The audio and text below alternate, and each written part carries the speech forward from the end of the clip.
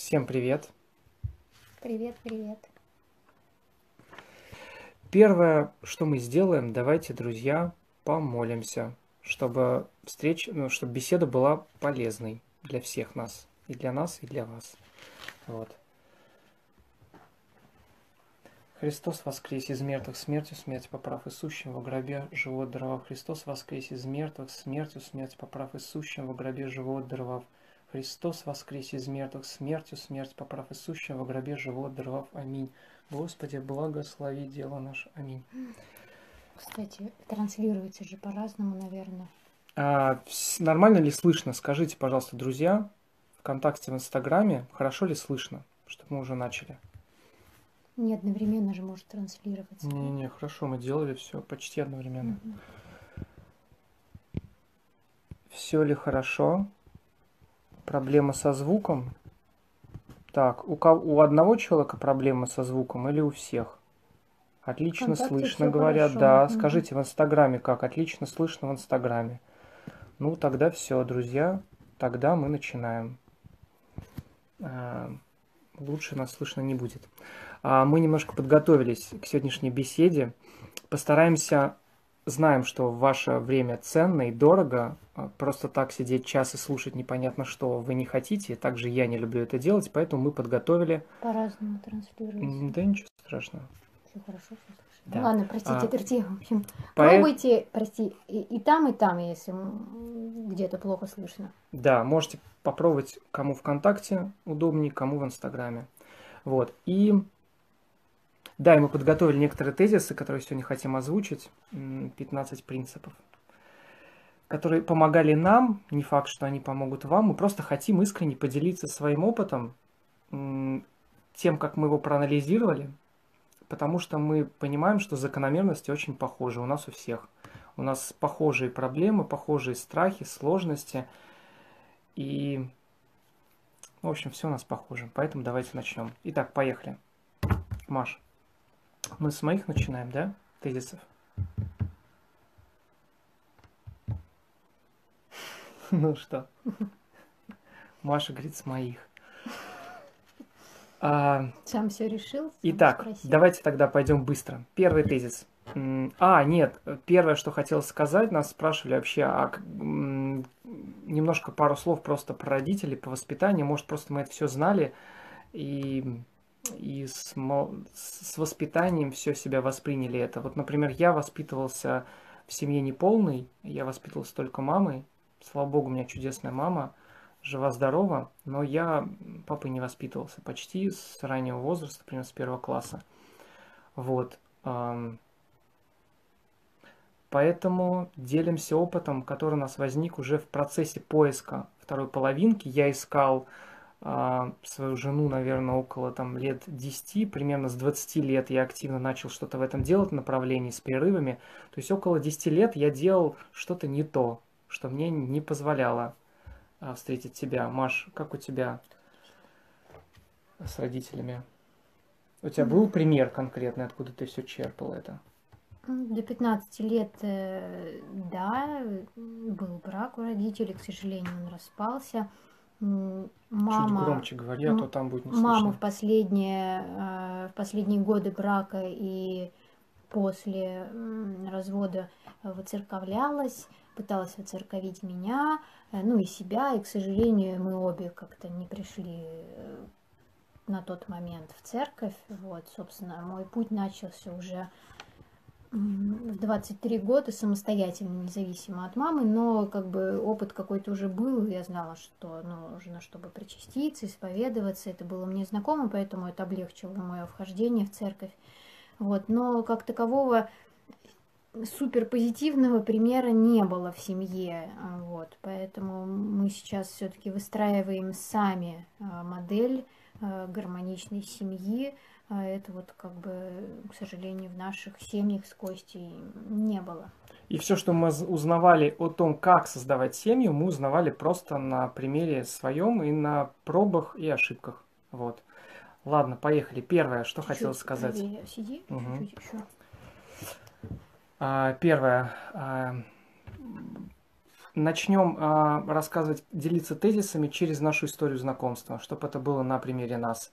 А, я встретил Машу в Троице-Сергиевой Лавре во время службы а, в храме, увидел ее горящие глаза, а, такие светлые, яркие, такие радостные, и что-то мне так внутри подсказало, Кость, иди познакомься.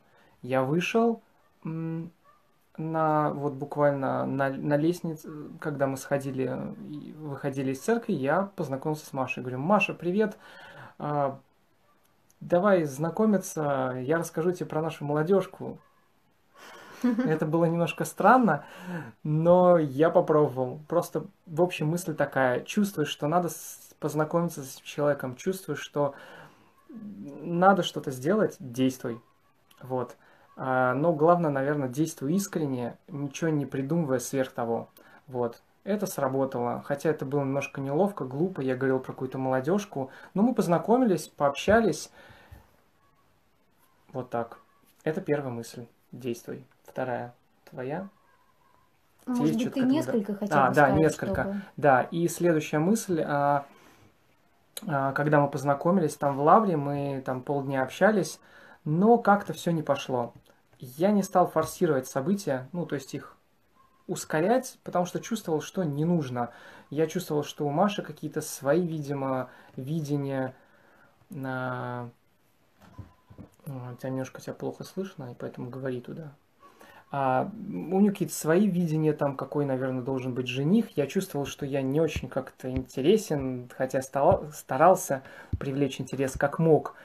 А, но но как-то какой-то, в общем, взаимности не чувствовал, поэтому я не стал форсировать, не стал двигаться вперед, вот так ломать оборону, как бы меня же не просили, зеленый свет мне не дан, и я не чувствовал в себе сил и каких-то, ну, что я вот сейчас вломлюсь и там очарую просто, и захвачу ее с собой, поведу. В общем, мне кажется, это было логично, правильно, Маша тоже говорит, что так и нужно, не нужно было форсировать. И благодаря этому мы сохранили такие, ну, такие товарищеские, просто приятельские отношения на несколько лет, на два года. И после этих двух лет мы встретились еще. Второй вывод. Действуй а, так, ну, он похож с первым. Действуй естественно. Ты чувствуешь, что не надо ломиться и преодолевать эту оборону, не ломись. Чувствуешь, что, а может быть, дальше стоит продолжить а, а, какое-то общение. Давай, предлагай. В общем, доверяй сердцу и действуй искренне, естественно. Вот. Не выдумывай ничего. Как-то так. Тебе что добавить? Ну, я со своей стороны, э, собственно, вот эти тезисы, которые мы записали о том, что нам помогло создать семью, это э, вылилось в некоторые, в некоторые принципы, которые, ну, конечно, работают прежде всего для нас самих. Но вы можете что-то что-то будет полезным для вас. Мы ни в коем случае не говорим, что это единственный там верный путь, потому что, конечно, каждый человек уникален, и э, у всех разное состояние духовное, душевное, там, физическое, разные совершенно условия, поэтому мы ни в коем случае не навязываем, мы просто делимся, поскольку, ну, там, те люди, с которыми мы этими вещи, э, мыслями и опытом делились, это как-то им помогало. Поэтому что-то из этого может быть вам полезно, но очень, как бы осторожно. То есть мы ни в коем случае, мы не психологи, мы не можем там пропагандировать что-то, но это наш опыт, и, возможно, он кому-то будет полезен, мы будем рады. А...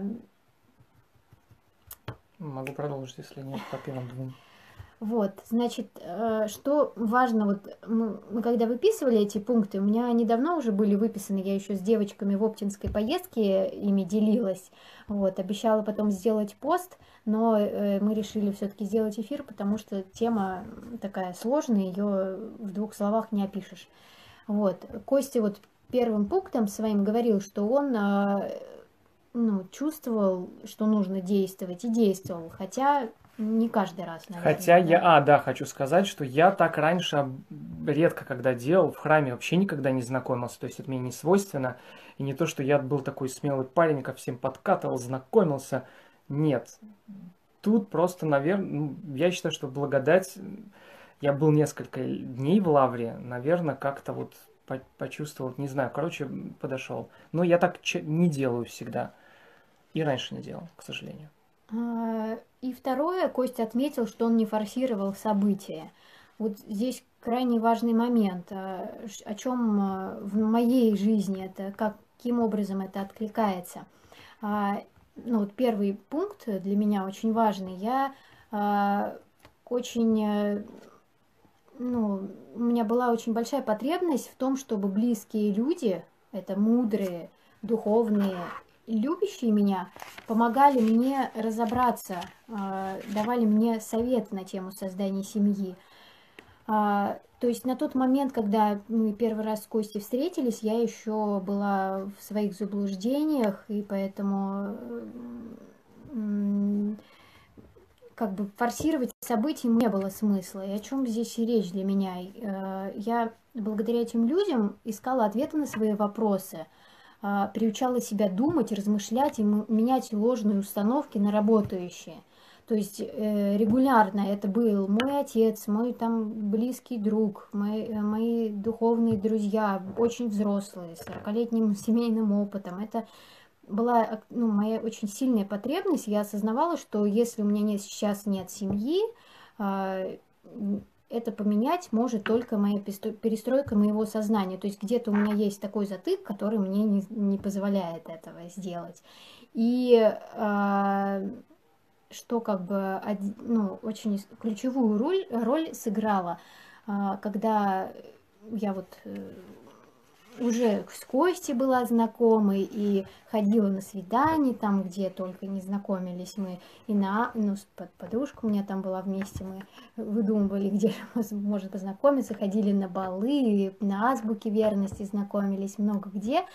А, ну, как-то все хорошие ребята были, прям прекрасные, но не складывалось. И вот душа не лежала, и я папе говорю, ну, мне что-то не нравится никто, вообще как-то мне никак меня не трогает, все эти знакомства, встречания, свидания мне надоело, еще такой человек не очень э, общительный. Вот, поэтому, ну, пожаловалась ему, и он говорит, э, «А, ты пропускаешь хороших ребят мимо себя. Ты можешь ответить, там не видно, а, он, там не он видно. зеркале. Пропускаешь хороших ребят мимо себя. И я поняла, что действительно, возможно, я кому-то не даю шанс. То есть есть люди, они достойные, они прекрасные, но у меня как бы дальше там одного-двух свиданий, оно само по себе не идет, как бы, и вот э, этот момент помог мне... Костечка, может, Нормально, все. Я там, Я там читаю просто. А. Э, этот момент помог мне переосмыслить вообще, а кто вокруг меня находится. И за... это было буквально там за полгода перед встречей с Костей, и я начала действительно давать шанс людям. Ну, не в смысле я там королевна такая, нет, не в этом смысле, просто вот э, продолжать общение, проявлять большую эмпатию к человеку, э, проявлять больше интерес. А, где? Нет, просто чуть громче тогда говори, там А, а, и это, собственно, мне помогло через полгода, когда мы с Костей встретились э, повторно, а, ну, не повторно, мы еще несколько раз пересекались, но общение не продолжалось. Вот э, на протяжении двух лет мы так пару раз пересекались. И когда мы встретились э, уже в Оптиной, а, у меня вот это вот, ну, то, что я наработала, что я давала шанс, у меня это открылось в нужный момент. То есть мой человек, который как бы, ну, Господь же, конечно, помогает нам с, наилучшим вариантом для себя, так скажем, создать семью. Вот, и это очень сработало, то есть это был мой такой рабочий инструмент, который я как бы, ну, не рекомендую, не знаю как, ну, в общем, это важно, мне кажется, не отфильтровывать всех подряд. И в итоге я, получается, отфильтровала собственного мужа. ну, в первый раз, да, у меня даже, я даже не поняла, что он как-то заинтересован во мне, я как-то его восприняла просто, ну, как друг, товарищ, там, знакомый, но при этом сердце мое, оно как бы откликалось, но я еще тогда не могла да, что интересно, перевести. хочется отметить, сердце мое тоже в первый раз откликалось, то есть чувствуешь, что-то мое, что-то вот близкое по духу я встретил, да, но у меня сразу возникло тут много всего мыслей. Так, а у нее там это, она что-то слишком крутая, тут на машине у нее какой-то там работа, зарабатывает кучу денег, я намного меньше. Ой, наверное, мы друг другу не подходим, нет, за ней надо будет как-то мега-супер ухаживать, у меня денег вообще нету. Как бы, ну как-то все это сложно, и ладно, семья попозже, короче. Вот так я думал. Как-нибудь потом ну и как-то не сошлось, понимаете, да? То есть уже на том, на то, в том состоянии уже поняли, что что-то есть, что продолжи общение, интерес. Вот, но куча заморочек, страхов и так далее нам это не позволили. У нее свои а, там, представления о том, какой он должен быть, у меня свои. И все. Вот первый отсев произошел тогда. Два с половиной года просто. И вот. Ну, не впустую. Да, нет. И за два года мы пообломались, хорошо, очень важно. Я в своей жизни пообломался очень круто. Маша пообломалась вот так вот. Прям сильно, да? Я тоже сильно. И вообще это, это помогает. Смиряет, и как бы начинаешь радоваться от, от того, что есть недостатки, и ничего страшного, я их потерплю, и слава богу. Да? Да. Да. Ладно, поехали дальше, друзья. Я дальше скажу еще. Да. А, а, ну вот я сказала про шанс. Угу. Там девушка спрашивала, как это давать шанс. Это просто... Ну, первое мое действие было, я позвонила мальчику из Питера. Я вообще не люблю дождливую погоду, мы тогда общались с ним, и, и я ему позвонила. Ну, мы как-то так дружили, но я ему все время говорила, не-не, я в Питер не поеду, это вообще не мое. Вот, при этом была взаимная симпатия, и я просто вот, э, ну, давай-ка позвонила, давай, может, попробуем пообщаться все-таки. Ну, ладно, Питер там, не Питер, можно, время идет, можно потом как-то жизнь по-другому сложится. И он обрадовался, и мы начали общаться, и еще несколько месяцев после этого общались. И когда уже как бы вроде ну, внутренне ты готов к тому, чтобы понять вообще, ты готов с этим человеком идти или нет, мы как бы оба ну, в большей степени он ответил, что нет, я не готов, это не мой человек. Ему больше ответ пришел, и вот как бы мы так и остались в дружеских общениях. Потом был другой человек, новый, с кем мы познакомились. Там как бы э, я сразу встретилась и подумала, нет, не мое, вот прям установка внутренняя, не мое. Но как-то общение завязалось, он очень активно был заинтересован в общении со мной.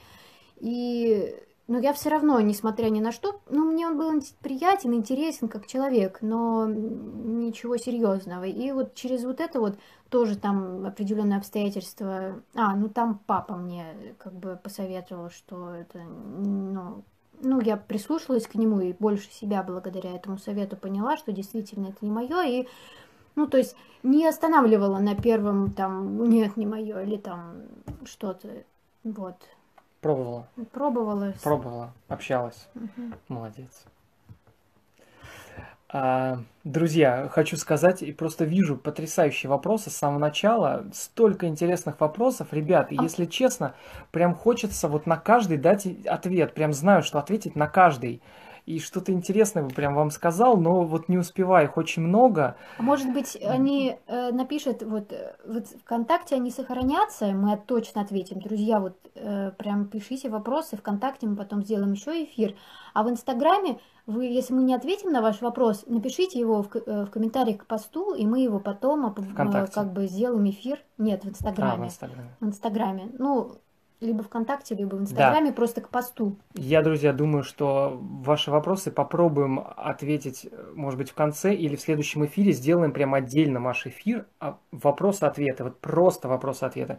Просто сейчас мы именно хотим сделать, вот именно рассказать тезисы, которые нам помогли, мы о них расскажем, а потом прям сделаем вопрос-ответы. Будет очень интересно.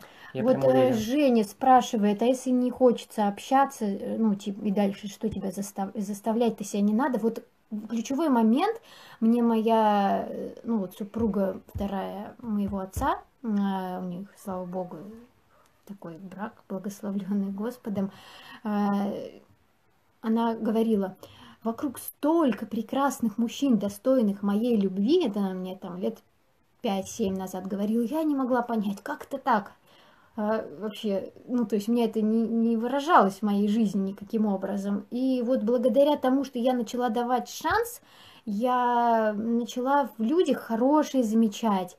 Реально, э, то есть люди начали раскрываться по-другому. Это вот такой важный момент, реально, то есть это я потом об этом э, скажу, что мне ну, действительно начали нравиться люди. Это вот было, это через себя немножко переступаешь, но с доверием Богу, что это не дойдет дальше, чем там должно дойти, то есть это все равно на дружбе там закончится, потому что э, что-то, ну, как бы что-то станет между вами. И каждый раз так происходило, то есть все равно было вот это доверие Бога, я тоже об этом скажу.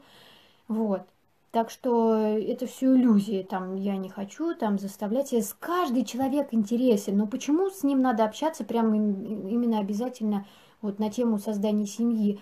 Ну нет же, то есть э, каждый, каждым человеком можно увидеть что-то такое, за что его можно полюбить, ценить, уважать, что-то чем-то он может уникально поделиться. У нас вот на общении по кругу люди об этом постоянно говорят, что «А, какие они все, оказывается, интересные!» Буквально пяти минут хватает, чтобы э, как-то разглядеть красоту в человеке. И вот это как бы... Ну, сейчас дополню. А, я тоже, когда вот встречались мы уже с Машей, я как-то себя почувствовал увереннее в себе. И вообще, честно говоря, ребята, вот кто говорит, что нет девушек нормальных вокруг, я вам не верю. Я ну, не знаю, скажи, где... Пожалуйста, а? сначала а? так и было. А, ну вот сейчас скажу, да-да-да. Сначала так и было, мне тоже почти никто не нравился вообще. Ну вот, увы, ну что-то вот не откликало сердце. Ну вот никто не нравится и все. Ну такой, там в вопросе, кстати же было, да, Ник никто не нравится, победил опрос. Никому никто не нравится, парням. Вот. И когда только начал с Машей встречаться, как-то, ну вот, немножко так... Эх, почувствовал себя увереннее. Вы знаете, друзья, я посмотрел на своих знакомых девушек. Я понял, что если вдруг с Машей ничего не получится, ну мало ли, Господь разведет. Ну, все бывает. Я прямо уже точно увидел, с кем я пойду на свидание. Вот из своих знакомых. То есть я сразу увидел, что из моих знакомых уже есть хорошие невесты. Короче, я сейчас даже до сих пор вижу, вот прям вот среди моих знакомых девушек отличные невесты. Просто парни этого не видят, к сожалению. Но они вообще очень хорошие. Что помогло тебе это увидеть? Что помогло? Честно говоря, мне помогло... Я сейчас скажу, что мне помогло. Мне помогло, когда я с тобой начал встречаться, я понял, как это классно быть вдвоем. Как это, как это воодушевляет, как это вдохновляет.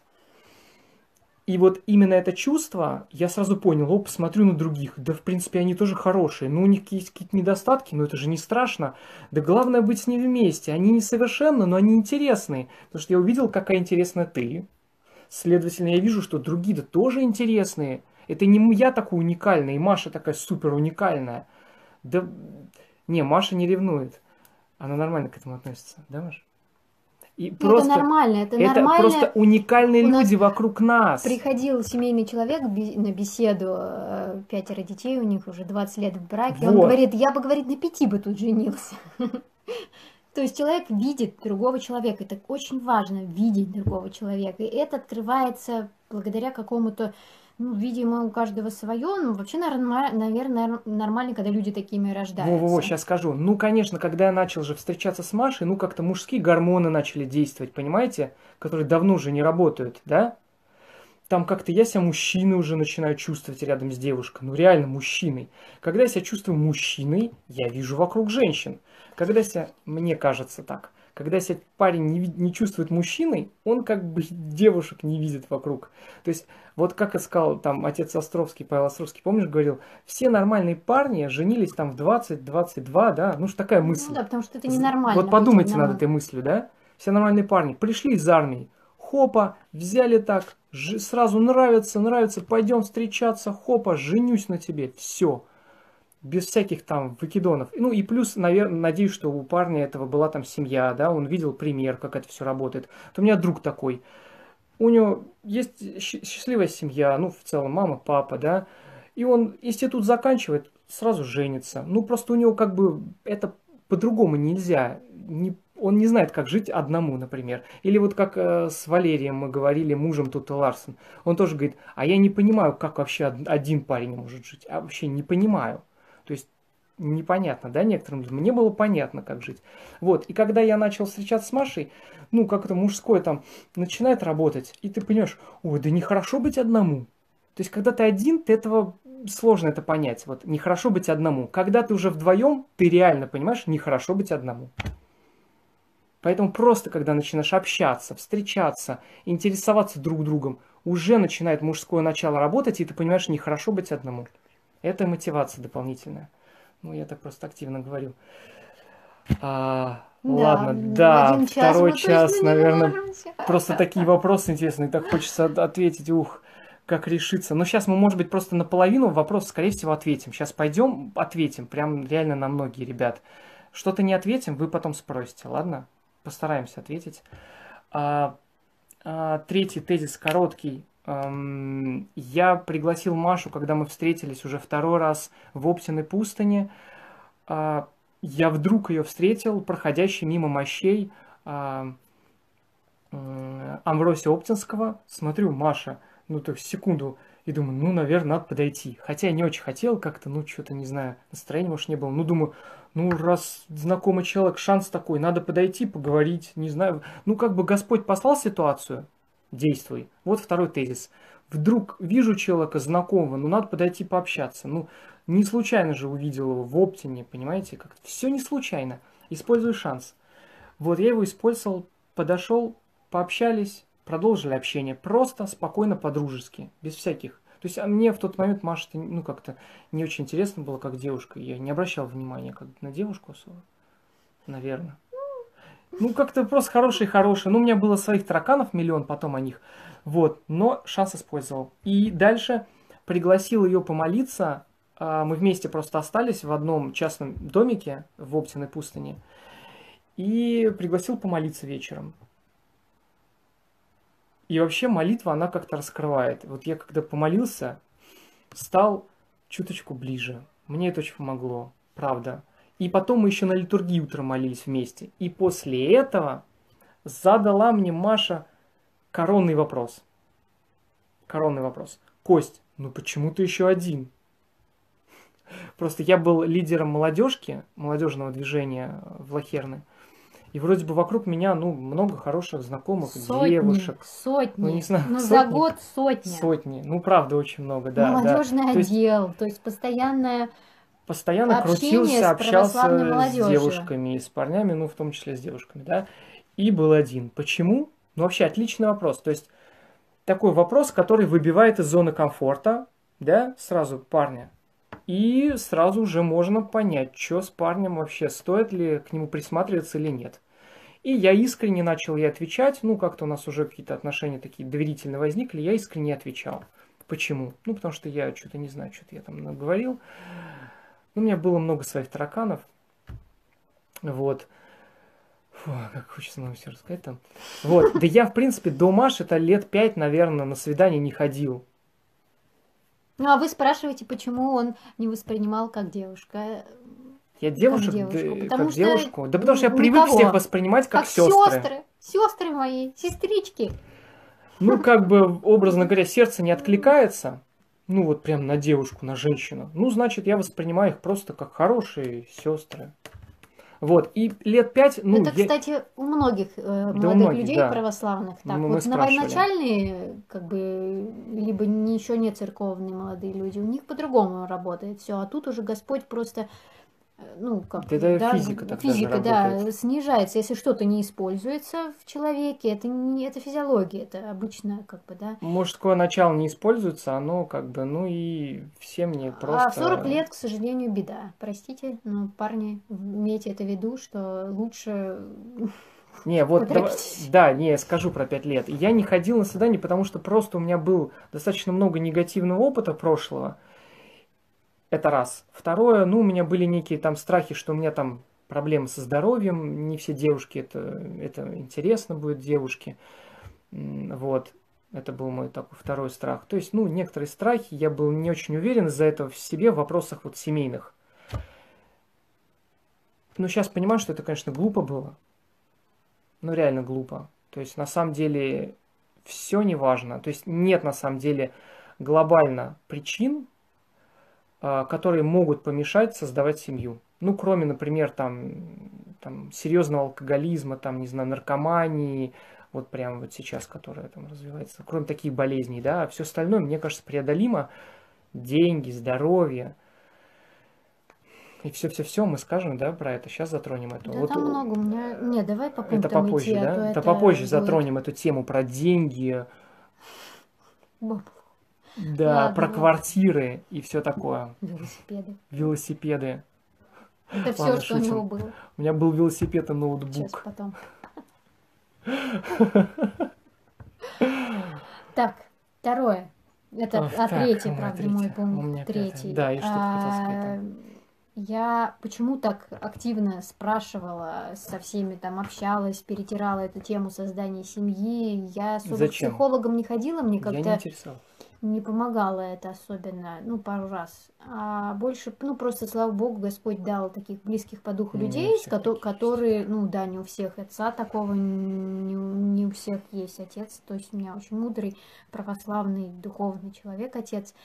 Я, к сожалению, не всегда его слушалась, но когда уже поняла, что все паленым пахнет, начала прислушиваться. И, собственно, с этого момента начало тоже все меняться. Вот. а, Почему я так постоянно активничала в вопросе? Почему? Потому что я осознавала острую необходимость в семье. Я понимала, что А я нет. Богу угодно, чтобы человек был не один.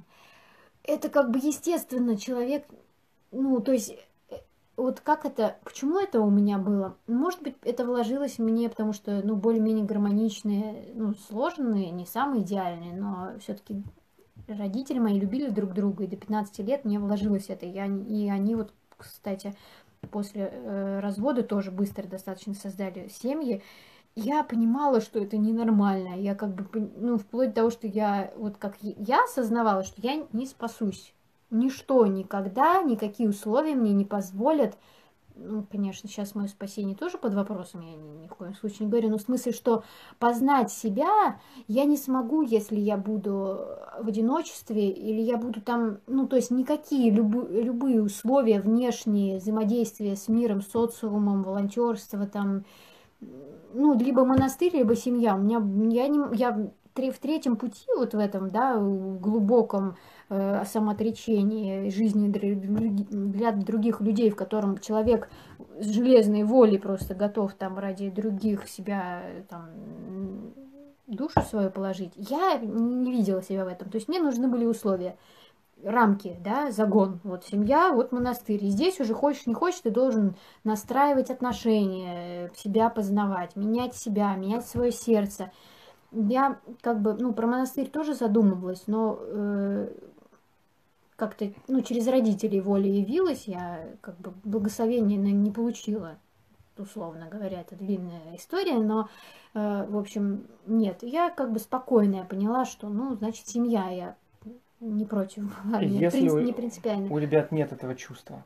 Какого? Что семья это важно. Вот я не знаю, надо молиться. Нам этот э, отец Силуан в Оптиной сказал, а что ну, ты хотим, ну, что-то как-то не получается. Отец Силуан на беседе с молодежью сказал, молитесь, Господи Иисусе Христе, даруй мне решимость создать семью. То есть, Отец Силуан сказал нам. да, как-то надо этим, чтобы Господь дал это чувство, если его нет, потому что без него действительно сложно. То есть я у меня это друзья мои удивлялись как-то я один э, знакомый, второй жених, третий, четвертый, пятый вроде уже тут этот один знакомится, а тут бац, короче, через два месяца вообще другой и, и женюсь, замуж выхожу. Ну то есть я прям у меня горело это. Ну там был период у меня до этого, к сожалению, по определенным причинам несколько лет не могла этой темой как бы вообще заниматься созданием семьи. Но по факту я за год вот все вот эти тезисы это год э, активной работы над собой. Э, Реально понимание, что все уже, блин, там скоро скоро много лет мне будет.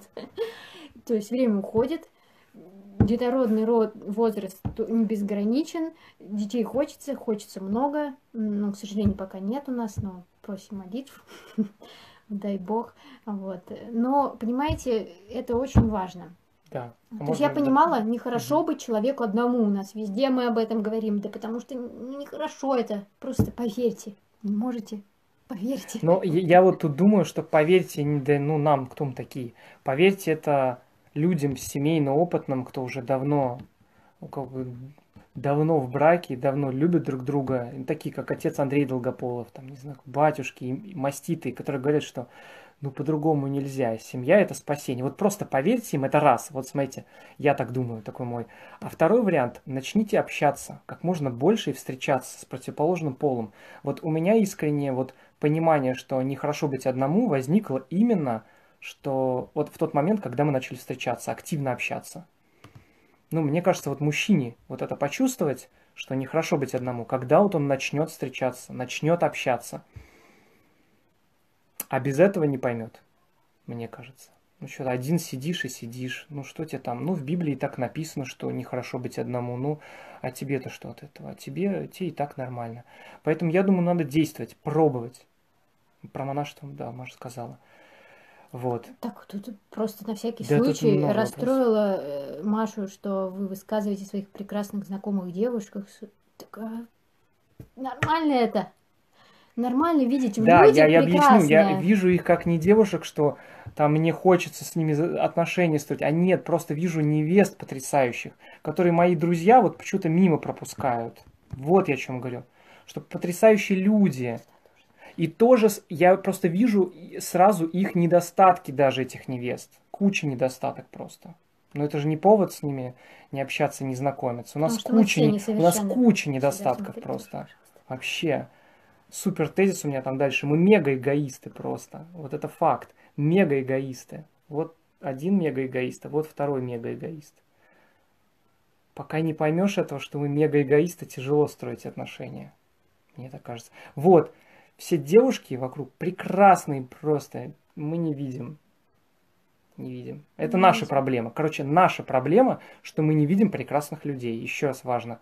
Мы за это ответственны, что мы не видим. Возможно, если вы живете в каком-то селе, в деревне, где всего одна девушка на все село, это другой вопрос. А если вы в Москве, то, то вы, я не знаю, что вы делаете, если не видите прекрасных девушек. Вот. А они везде, везде. У нас на мероприятиях просто столько потрясающих девушек. Но мы выбираем, перебираем, перебираем. Вот я так вечно перебирал, перебирал, перебирал. Как бы получше. Вот у, у я вот еще так думал, там вот у Маши нашел качество, и что-то вот мне не нравится это качество характера. И я думаю, а вот продолжить мне с ней общаться или все-таки снова искать? Ну вот вижу же не очень хорошее качество. Может, не надо создавать семью? Я думал, и я так думаю, ну так продолжится круг этот замкнутый. Я снова буду искать, мне снова в следующий раз что-то не понравится, потом снова искать, потом снова искать, снова что-то не нравится, снова. И вот так я примерно много лет этим занимался. Не работает. Да. А... Да, Итак. еще у нас тезисы. Друзья, на вопросы потом поотвечаем в конце, а то у нас много тезисов важных. В каком конце? Через три часа. А, через три часа. Ну смотри, они пока не уходят. Друзья, подготовьте себе ужин какой-то и попить чая. Мы надолго. Да, к сожалению. Ну, а... просто мы вот то, что сейчас проговариваем, я вот в, в женском чате часто с девочками делюсь этим. Эпизодически. Просто мы видео это снимем, и потом будем на все вопросы отправлять это видео. Ну, да, простите, и просто искренне, вот чем мы делимся, искренне хочется это поделиться, мне вот лично поделиться бы со мной, когда мне было 25.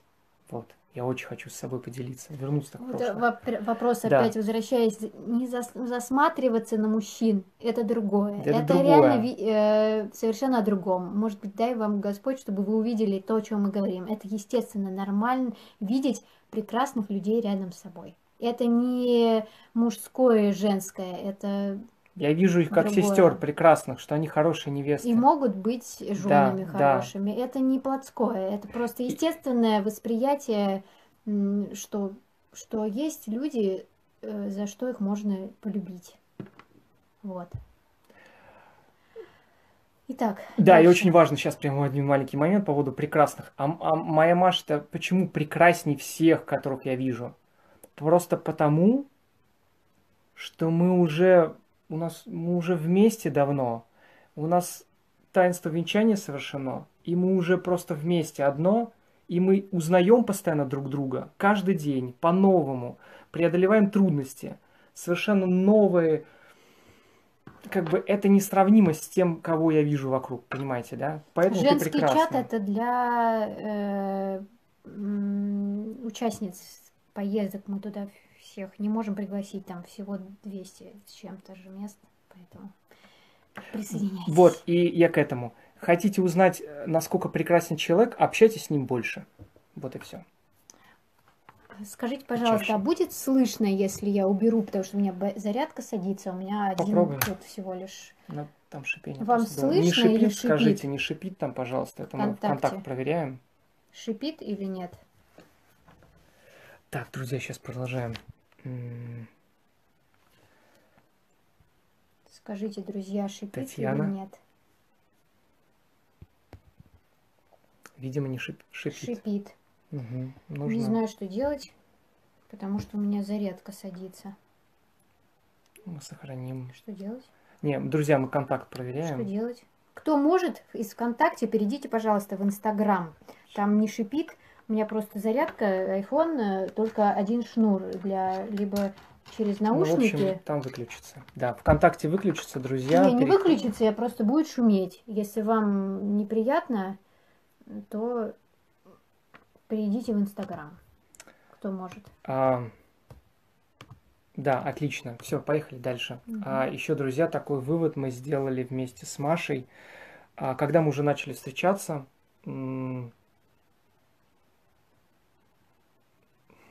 да, сейчас отвечу. Мы на- начали встречаться, и, и, в общем, я как-то доверял сердцу и тем обстоятельствам, которые складывались между нами с Машей. То есть я чувствовал, что Господь ну, незримо с нами. Я искренне, вот, о, очень важный тезис тут не...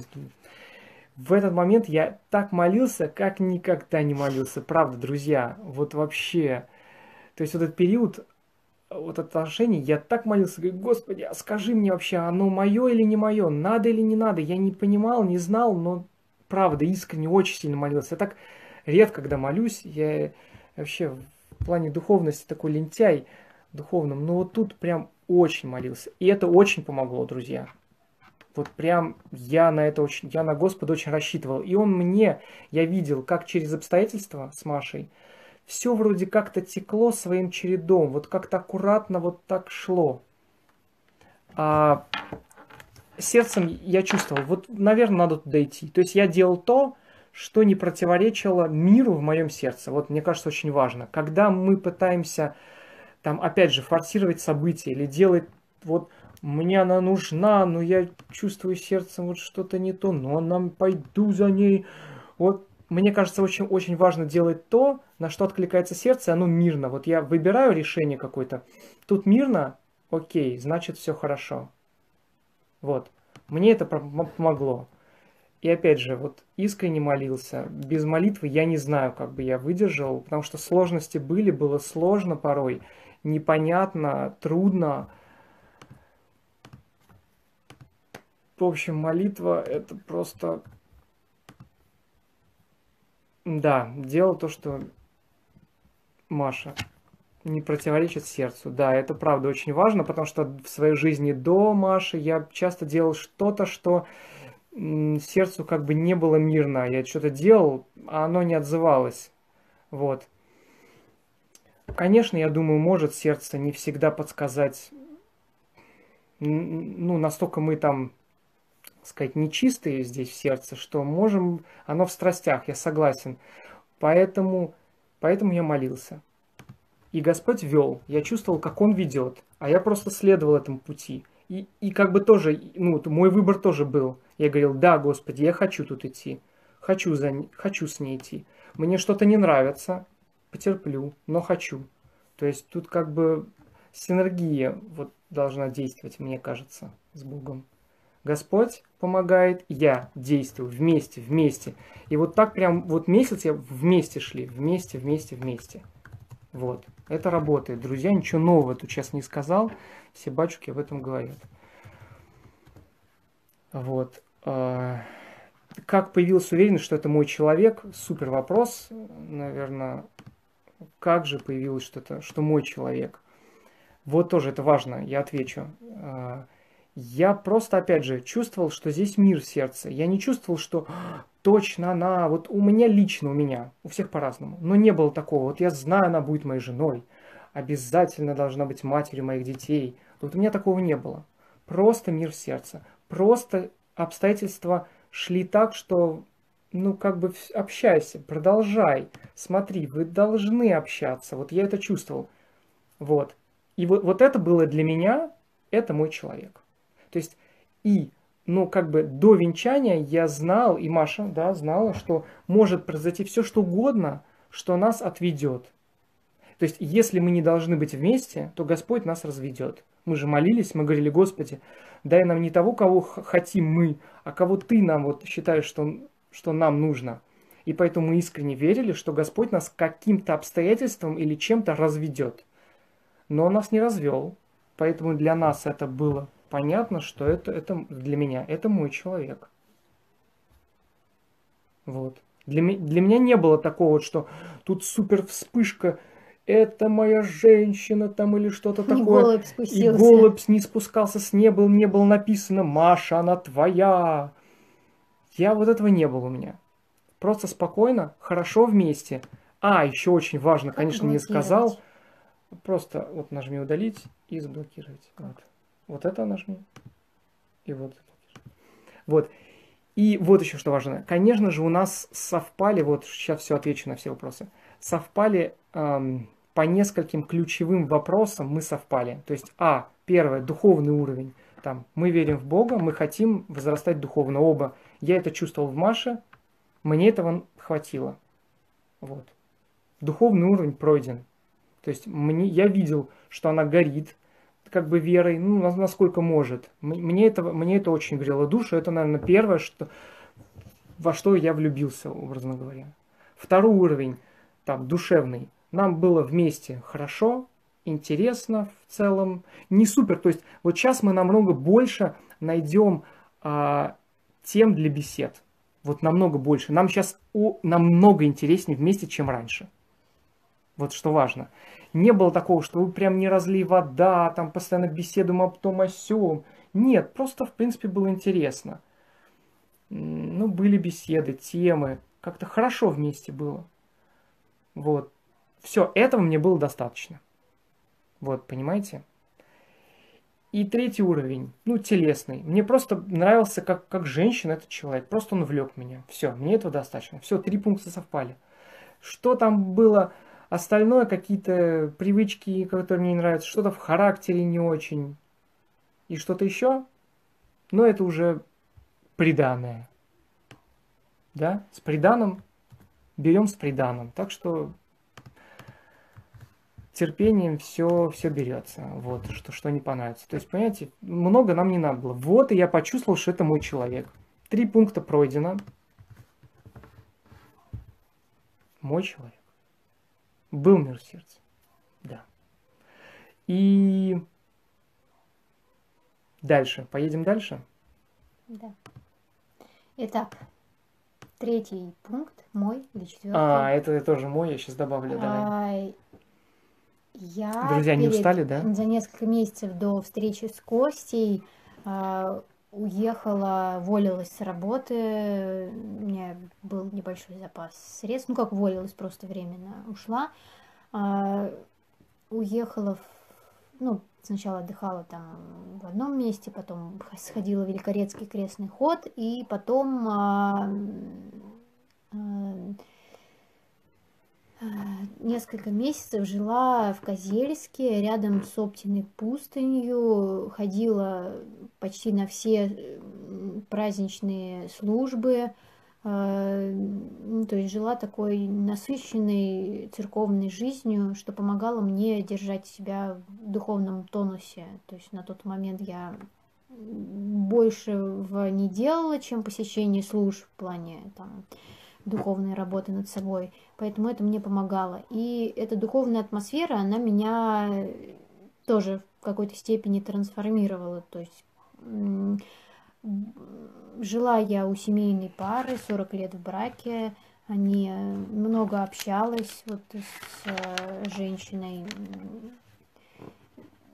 Она делилась опытом, я что-то перенимала, что-то просто впитывала, смотря на них. Не то чтобы там прям все идеально, но в смысле, что э, это тоже путь, это тоже жизнь, э, прожитая такая сорокалетняя, это все-таки серьезно. И это мне тоже помогало. Ну и люди духовные. То есть вот тоже для меня важно. И молитва за меня. То есть вот э, это Надежда, она за меня очень много молилась. Она говорила, что я прям не знаю, как-то сильно о тебе переживала, что ты создала семью. То есть для меня, как бы как отец Андрей, кажется, Ткачев говорил, что э, Э, если кому-то не слышно ВКонтакте, перейдите, пожалуйста, э, в Инстаграм. Тут не будет больше лучше условий, к сожалению, у меня садится батарейка, и приходится заряжать телефон, из-за этого наушники не можем вставить. В Инстаграме хорошо все слышно. Да. Переходите. Вот. Так что такой тоже важный момент, что э, себя не вымолишь, как отец Андрей Ткачев сказал молись других, а тебя вымолит другой человек. Вот надо с кем-то быть, как бы, ну, духовные, хри... ну, христиане, в общем, должны быть в твоей жизни, чтобы ты мог опереться на чью-то молитву в своих сложных, как бы, таких задачах. Потому что ты один в поле не воин в духовной жизни, в сложных таких задачах, как бы хорошо бы прикрепить прилепиться к кому-то более духовному, в идеале это, конечно, наверное, батюшка, но у меня не было батюшки, который так прям за меня сильно болел. А, вот. У, ушла, ну, я просто болела очень много, каждый, несколько, Скажи, сейчас несколько раз э, в месяц болела бронхитом на протяжении полугода, 8 раз болела, я поняла, что мне уже надо из этой Москвы валить. Вот. Не знаю, с чем это было связано, просто вот переключиться надо было. Я поняла, что мне нужно на природу, отдыхать, восстанавливаться. Собственно, это мне и помогло. А работала я недвижимостью коммерческой, занималась. У нас были один большой бизнес-центр, я там арендой и продажей занималась как, ну, как агент. А да, я добавлю к этому вот про молитвы. А, я вот искренне думаю, считаю, что за меня ну, я знаю, что многие молились. Вот я... Почему? Сейчас скажу почему. Потому что я в течение последних там вот четырех лет я занимался молодежкой, работал в общине при храма, помогал социальным служением. Короче, очень был в церкви активен. Ну, вот занимался служением в церкви. Так получилось, что я пошел по этому пути. Слава Богу. Вот. И а, и до этого я тоже занимался там немножко волонтерством, достаточно там несколько лет. В общем, это к чему? Вот слава богу, что я всем этим занимался в то время. Сейчас я уже лентяем стал.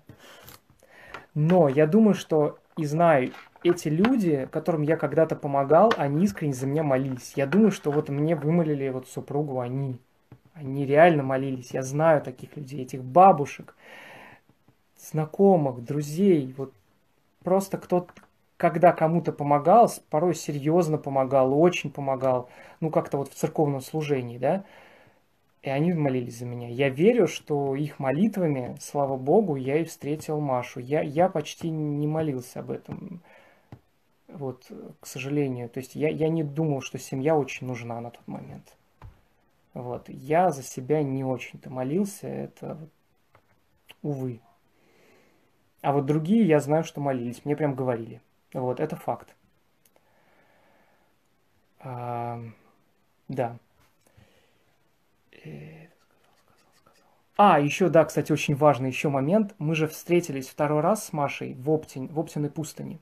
Я приехал с другом, с Иосифом, отдохнуть там на неделю. Маша там была. И вот что очень важно, вот это молитвенное настроение, вот это монастырское спокойствие, оно перед, передается. И если б я Машу увидел в Москве где-то, я бы так сразу же, а, привет, Маш, привет, как дела там? М, ну да, ну пока, у меня дела, у меня работа там, у меня проекты, все, пока. Вот. А вот там в монастыре, ну, человек вот здесь, рядом, давай вместе пообщаемся, давайте вместе, я предложил на озеро, причем я предложил сводить ну, хозяйку и Машу, показать им озеро. Просто так, ну, чисто по-дружески. В Москве я, наверное, такого не сказал. У меня столько в Москве дел. А вот там вот это спокойствие вот позволило вот сначала просто прогуляться там до родника, там, да. Потом позволило мне предложить просто им показать озеро. И вот через это мы начали узнавать друг друга, через несколько дней. Вот что очень важно – вот монастырь помог нам в этом спокойствии э, не разбежаться, а дать возможность пообщаться друг с другом. Вот, вот это слава Богу. Монастырь, вот он в этом очень помог. Поэтому мы возим наших участников да, поездки кстати. паломнические. Кто бы что ни говорил. Э, реально помогает человеку немножко э, перестроиться. И, Выдохнуть. Да, и почувствовать себя, почувствовать близких, людей по духу. Он помогает, вот эта благодатная атмосфера, поэтому я очень много времени проводила при монастырях. Это вот меня прям Я тоже любил ездить, да, поэтому вдруг кто еще не понял, что такое паломнические поездки, там, а, в одному в смысле, может быть, вы один, езжайте куда-то, съездите, там, просто потрудничайте, у кого есть возможность. Это правда потрясающе. Кто еще не знает, что это такое? Одному пожить Я в монастыре. очень много знаю людей, которые встретились в монастырях. Да. А в семье не все как так, давай по, по Евангелию. А мы за, три часа не Ну это прям по пунктам. Красивые, гармоничные такие, ути-пути, mm. но порой жесткие эгоисты. Я хочу это сказать, да, Я это правда. И Маша, ты скажи, что эгоистка. Ой, ужас. Маша ужас. Я, по, я, наверное, по, ну, раз, ну, раз по пять точно в день извиняюсь, наверное. А я нетерпеливый. Поэтому вообще все не так просто, друзья. Нет Приходится звука. терпеть себя и другого. Нет, э, друзья, звук есть, звук есть. А в Инстаграме звук есть, ребята. Все, ок, все. Давай двигаемся дальше. Друзья, Давай поехали. Это... Да, по постараемся побыстрее. Включаем. Режим максимум включаем, это много деталей. Итак, и что очень важно нам хотелось еще сказать. Вот мы такие познакомились, первый месяц встречаемся с Машей, общаемся и общаемся очень активно, очень много. Это лично наш опыт, но он нам помог. Очень активно, очень много и очень конструктивно. Вот. И сразу сюда присоединю, я ее далеко от себя не отпускал, Машу.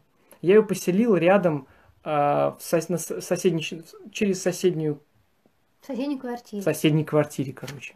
Вот. Маша, в принципе, в тот момент негде было жить, но она могла где-то снимать, могла жить в другом конце у родителей. У родителей в другом конце. Не факт, что мы так часто бы ездили друг к другу. Я подумал, что это будут у нас некоторые сложности. Я такой достаточно в тот момент пассивненький был. Маша... Ну, я вот чувствовал, что надо чаще встречаться. Вот прям понимал. А то на, мы как бы отдалились бы, возможно. Вот это наш, наш опыт.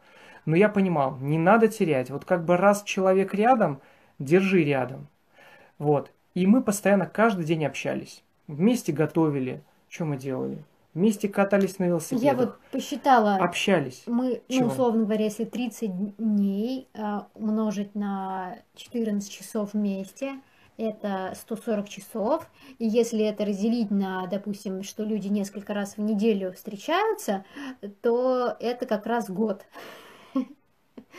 Ну так-то люди не могут, наверное, каждый день себе позволить встречаться. А мы с утра до вечера просто вот расставались только на сон. Реально, это нам помогло. Мы, конечно, ну, во многом там нам тяжело воспринимается вот эта тема про то, что нужно общаться год, потому что это реально очень много, тем более для взрослых, зрелых людей. Нам, мне там было 27, Кости 32, 2, 31, 32. Ну да, поэтому нам казалось это как-то странно все. Как-то, в общем, Но, не хотелось. тем не менее, да. то есть, видишь, да, мы очень, мы общались каждый день по 14 часов. Да. Можете, да. И, в общем, да, сразу скажем, до того, как я сделал предложение, прошел один месяц после вот второго знакомства, один месяц. И еще месяц мы ждали ЗАГС, то есть через два месяца мы повенчались. Вот. Это не призыв делать так же всех. Это просто наш опыт, наш. Но для нас он был показательный. Нам времени больше не нужно было. Вот давайте я скажу. А узнал я что-то о Маше новое, чего я не узнал за один месяц. Нет, в принципе. В принципе, ничего нового я не узнал. Увидел какие-то хорошие черты. Увидел, что мне не понравилось. И примерно после свадьбы я увидел, что мне не понравилось, ну, просто более активно это произошло, ну, потому что мы расслабились после свадьбы, это логично. Вот. То есть я видел, к чему мне готовиться. То есть за один месяц мне стало все понятно. Вот. Я не призываю вас так делать, но я тоже не очень понимаю, как целый год можно ходить даже за ручку не трогаясь. Э, то есть да, это, Не, наверное... ну если, наверное, встречаться. Ну, если встречаться раз редко, неделю. да, раз в неделю. Ну, это какая-то странная мотивация тоже. Ты же старой, ну, стараешься. Может, работы узнать. много, ну, много да. работы. То есть все бывает по-разному, друзья. Но активный вот месяц знакомств нам вот лично хватило. Вот. И, и, конечно, я, вот что очень важно, я советовался с батюшкой. Вот, правда, меня просто батюшка спасал, он был мне как отец, у меня отца не было. И я к батюшке, которому постоянно у него исповедовался, мы с ним общались на тему семьи, и по поводу даже предложения уточнил, а не быстро ли я это делаю. То есть я хотел понять, что мой выбор трезвый, что я мыслю как-то, ну, не в состоянии влюбленности и в состоянии а поскорее бы нет, чтобы выбор три. Поэтому я советовался с батюшкой. Мне он очень помог. Поэтому искренне желаю, у кого хоть какая-то есть возможность, советуйтесь. Вот, батюшка, слава Богу, спасибо вам. Вы мне очень помогли. Вот. И... Ты хочешь что-то добавить? Я пока на пятом пункте. А, на пятом пункте? Ну, я уже на десятом. Вот.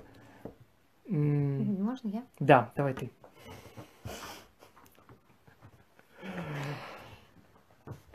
Что у меня еще работало? Я, ну, у меня и так не всегда было, но я начала с какого-то возраста доверять своему папе. У меня, ну, с мамой не такие прям доверительное общение, а с папой прям, вот я прям сутками готова с ним была общаться на тему семьи. И так сложилось, что, ну, точнее, я так с Божьей помощью складывалось, что у меня получалось э, всех с Костей, фу, с папой знакомить. Ну, как знакомить, хотя бы просто, мужчин. чтобы он, ну, знакомых, э, друзей, с кем я гуляла, там общалась, какие-то ухажеры, кавалеры или просто друзья, чтобы какую-то обратную связь. Вот у меня ну, мне сложно, я такой человек, что мне, я как бы догадываюсь, что, что у меня внутри, но мне не всегда легко сформулировать, поэтому мне нужен как бы обратная связь от э, человека, который меня любит, который духовный, который там опытный в семейной жизни. И Костя дал очень, э, папа дал очень э, такую четкую обратную связь по поводу моих э, чувств Кости. То есть помог мне сформулировать, как на самом деле обстоят дела. И, конечно, это была позитивная обратная связь, и я почувствовала, что это действительно так и есть. Вот, поэтому я вот доверяла своему папе, если бы он как бы, ну, как в принципе и было с другими молодыми людьми, он как бы, ну, как-то, ну, так было. Я понимала, что что-то здесь э, не дотягивает до того, чтобы прям вот я могла с уверенностью сказать, да, я с этим человеком готова там прожить всю жизнь, и у нас брак сохранится, да, То есть вот именно по поводу нас с Костей, вот у нас как-то все совпало. То есть мы реально очень во многом подходим друг к другу. И, кстати, это только сейчас во многом раскрывается. То есть тогда невозможно было осознать, что насколько мы вот как бы вот как пазл, да, вот у, где у меня горбинка, у Кости выемка, где у Кости горбинка, у меня выемка. И мы как-то друг другу просто вот прям вот ну, Господь еще управляет, конечно, венчание, благодать очень сильно много дает, но вот насколько э, вот эта вот гармония, она, ну, она очень как бы сейчас только раскрывается. Ее тогда невозможно, ее тогда только интуитивно получалось видеть. И благодаря вот тому, что мне папа помог осознать, что Кость вот человек, с которым я смогу создать семью гармоничную. Mm-hmm. А вот. добавлю, можно прям к этому быстро? Я очень быстро добавлю такую мысль, продолжу Машину, что а, вот на самом деле-то, а, как пазлы, мы начинаем быть похожи друг другу уже в браке. То есть мы начинаем узнавать друг друга, помогать друг другу, проживать все это. И вот уже скла... мы превращаемся в пазл, дополняем друг друга, где нужно дополнить. У нас интересы появляются общие – все по-другому становится. Вначале так не было. Вот что очень важно. Именно в браке ты понимаешь, какие вы похожие. Да просто потому, что вы в браке, вы становитесь похожими. У вас просто вы все вместе делаете. Вот. Ну вот я, я лично сам это так чувствую. А, ну и как важную мысль сказал вот тоже отец Андрей Долгополов говорил, мне очень нравится эта мысль, что мысль такая, что чем больше в человеке любви, а, тем с большим как бы количеством людей он может создать пару. Вот. Но мысль его немножко, может быть, по-другому сказал, что почти со всеми настоящий христианин может создать пару почти со всеми. Вот. Я в это верю. Это очень важно. Это реально так. То есть чем больше в нас любви, тем с большим количеством людей потенциально мы можем создать пару. Можем, чем... и, и мы с тем большим количеством людей у нас сходится, потому что человек, который у него открылось хотя бы немножечко сердце для любви, такие же люди ему встречаются. А тот, у кого открылось сердце для любви, у него не получится ничего с тем, у кого сердце закрыто. Вот хотя бы немножечко просто вот открылось оно, и это помогает. Вот, а где есть любовь, там, где, там же есть все добродетели, там и много терпения. Ты другого человека, что-то у него не то, а ты его терпишь, а он тебя. Поэтому это очень важно прям. А чем меньше в человеке любви, тем меньше потенциально, кто ему вообще нравится, кто, с кем он может создать. Просто потому что, ну знаете, это очень показательно, когда, например, там с кем-то вот человек просто не может вообще никогда ужиться. Ну вот, наверное, ему тяжело создать семью. Он просто не может ужиться вообще с людьми. Так, Кость. Да, ладно. Пунктом по пунктам. Все, вы поняли, друзья, мысль понятна. А, у тебя есть следующая мысль? Как открыть сердце для любви? Ну вот я до этого, по-моему, рассказывала, или ничего не рассказывала. Мы как-то можем по пунктам пойти? Давай. Ты же сама смотришь туда вопросы. Я не про это. Я про то, что ты очень много рассказываешь, так не закончим. Да, простите, друзья, прям не мог сдержаться. Костя просто очень хочет поделиться с ну, собственно, наш проект, он родился из-за того, что в нас переполняет это, то, что мы хотим как-то помочь молодежи, и мы как-то... Да себе я искренне вот хочу помочь 25-летнему. не может уже просто рот закрыть. То есть настолько э, человека переполняет эта тема, вот настолько столько мыслей, столько идей, что как бы реально хочется говорить, говорить, говорить. Поэтому если я тут его оставлю на три часа, это точно будет. Это как Иосиф, который у нас проводит евангельские чтения. Только Костя готов делиться просто мыслями на тему создания семьи. Вот. Такие вот у нас ребята прекрасные. Так, значит, что мне еще Дальше. помогало? Я убрала все запросы и требования. Погромче только всем говоришь, все слышно. Кроме душевных качеств. Меня не было, ну, вот в тот момент, когда мы встретились с Костей, уже не было, до этого было, не было никаких финансовых требований по поводу того, как, как мужчина должен, сколько он должен зарабатывать, сколько у него должно быть денег. Э, там, я не знаю, должна ли быть у него квартира, какие у него перспективы. Но очень важный момент. Про себя расскажи. А, когда мой близкий друг духовный увидел Костю, ну, Костя просто сейчас так хорошо выглядит, у Кости там, ну, потом расскажет немножко, да? Что так хорошо выглядит? Ну, скажи правду. Ну, в общем, то есть на первый взгляд казалось, что э, ничем не примечательный парень. Ну, для многих, наверное. В принципе, так, как бы такую обратную связь девушки, которым, которые Косте нравились, они и давали. Но мой друг сказал, ну ты прозорливая. То есть я понимала, что мне важно разглядеть не то, в какой точке сейчас человек находится, а,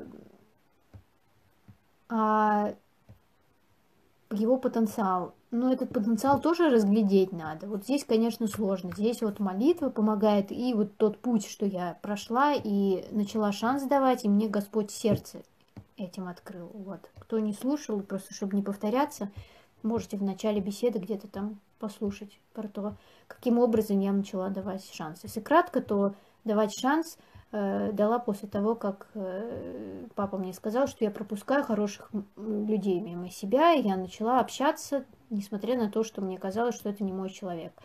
Вот. И к тому моменту, когда мы встретились с Костей, я уже была готова э, через как бы свои там ложные установки всякие пробиться через них и увидеть истинное ну, каков человек на самом деле. Собственно, вот в браке Костя и раскрывается. Я понимаю, что вот с Костей это просто так явно проявляется, что нехорошо мужчине быть одному. Ему нужна женщина рядом. Ну, и женщине, конечно, тоже мужчина нужен, но женщина как-то, она более эмоциональная, она как-то меньше закрывается от мира, от людей, а мужчина, он как-то в себе, в себе там весь занят своими делами, и это было неестественно для Кости очень сильно. Вот. Э, да, еще хочу добавить, что, конечно, можно заниматься своим делом, там, бизнесом, работой, и зарабатывать много денег, и все время свое тратить, может быть, там еще на что-то, но без семьи нельзя. Не знаю, это не, не только мои мысли, в принципе, вот с кем мы общались, большинство семейных людей, мужчин так и говорят, что, ну, странно, вот без, без жены. Раз, раскрываешься как мужчина, да, я думаю, в семье. Это правда так. Да, Маш, продолжай. Сейчас. Тут другая. А, хорошо, я пока продолжу. У меня есть шанс. А, еще очень важно, друзья, хотел сказать, вот э, начинают встречаться же люди, мы тоже встречались, и возникают какие-то непонимания. Вот что я делал раньше? После каких-то серьезных непониманий и конфликтов я делал так. Хм, ну, человек не мой, значит. Он думает вообще по-другому. Все, я немножко охлаждался к нему. Мы не расставали, я уже охлад... охладевал. Вот, ну все, мы по-разному думаем. Ну все, нам, наверное, не по пути. Вот, я думаю, что это тоже часто не так. Просто нужно правильно, на мой взгляд, конфликты проживать просто понять а конкретно, в чем конфликт, что вы так думаете, разобраться в этом. В общем, это не повод расставаться. Мне кажется, очень много, ты знаю сам по себе, когда пары расстаются до, до венчания, вообще до предложения, просто потому что у них что-то не так начинается, какие-то конфликты, вот, вот что-то не то. Ну так разбирайтесь. А когда будет семья, тоже будет что-то не то. Будет очень много конфликтов ну, всех по-разному, но все равно будет. Поэтому я думаю, что очень важно не разбежаться в этот момент, а проявить мужчине хладнокровие. Вот это я за мужчину говорю. Хладнокровие, спокойствие, рассудительность, а не на эмоциях. Вот просто если мужчина будет действовать на эмоциях, это странно. Она там что-то со мной спорит вообще не смиренная. Все, извини, это просто важно было сказать, ты пока отвлекался. А, шипит, друзья, к сожалению, у меня iPhone такой, что у него один только вход, либо э, либо наушник, либо зарядка. Поэтому кому шипит и мешает, можете зайти в Инстаграм. Ссылочка вот у нас в ВКонтакте на страничке. А, это временно, но в Инстаграме удобнее. К сожалению, простите. Нет, шумит. У меня телефон почему-то сломался, не, не понимаю. Да, этот телефон так. плохо работает, так что вот. переходите в Инстаграм. Следующий да. пункт, который мне помог на моем пути к семье, я не боялась боли и ошибок, так как это дает возможность быстро двигаться к цели. Что значит ошибок? Ну, то есть я училась на собственном опыте, постольку, поскольку я, у меня не было человека, там, не было родителей, которые привели бы ко мне мужа и сказали, вот это твой человек, то есть я как бы наломала дров, я там влюблялась безответно, э, думала, что это мое э, и так далее.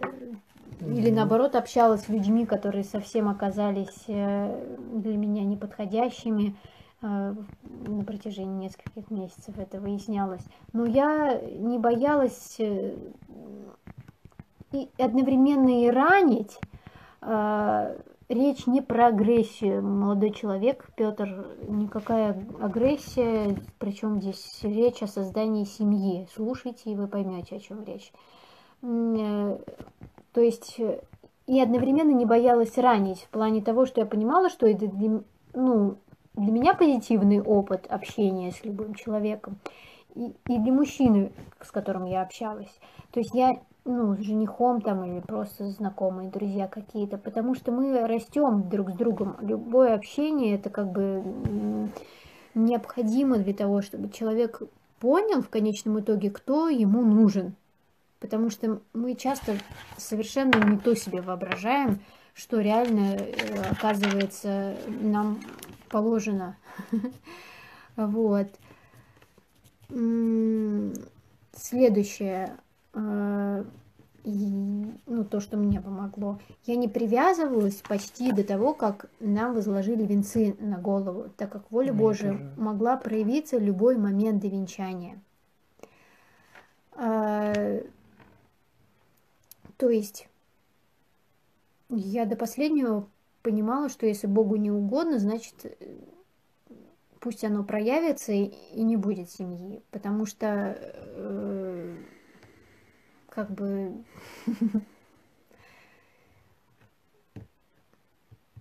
ну что я могу сделать, э, если мне очень-очень надо, а Господь э, не благоволит к тому, чтобы мы были вместе. Он по молитвам, если человек реально упорствует, может допустить то, что ты создашь семью с этим человеком, а потом будешь мучиться. Я знаю, о чем я говорю, потому что реально э, очень надо быть осторожным в том, э, что ты страстно желаешь там с каким-то человеком обязательно создать семью.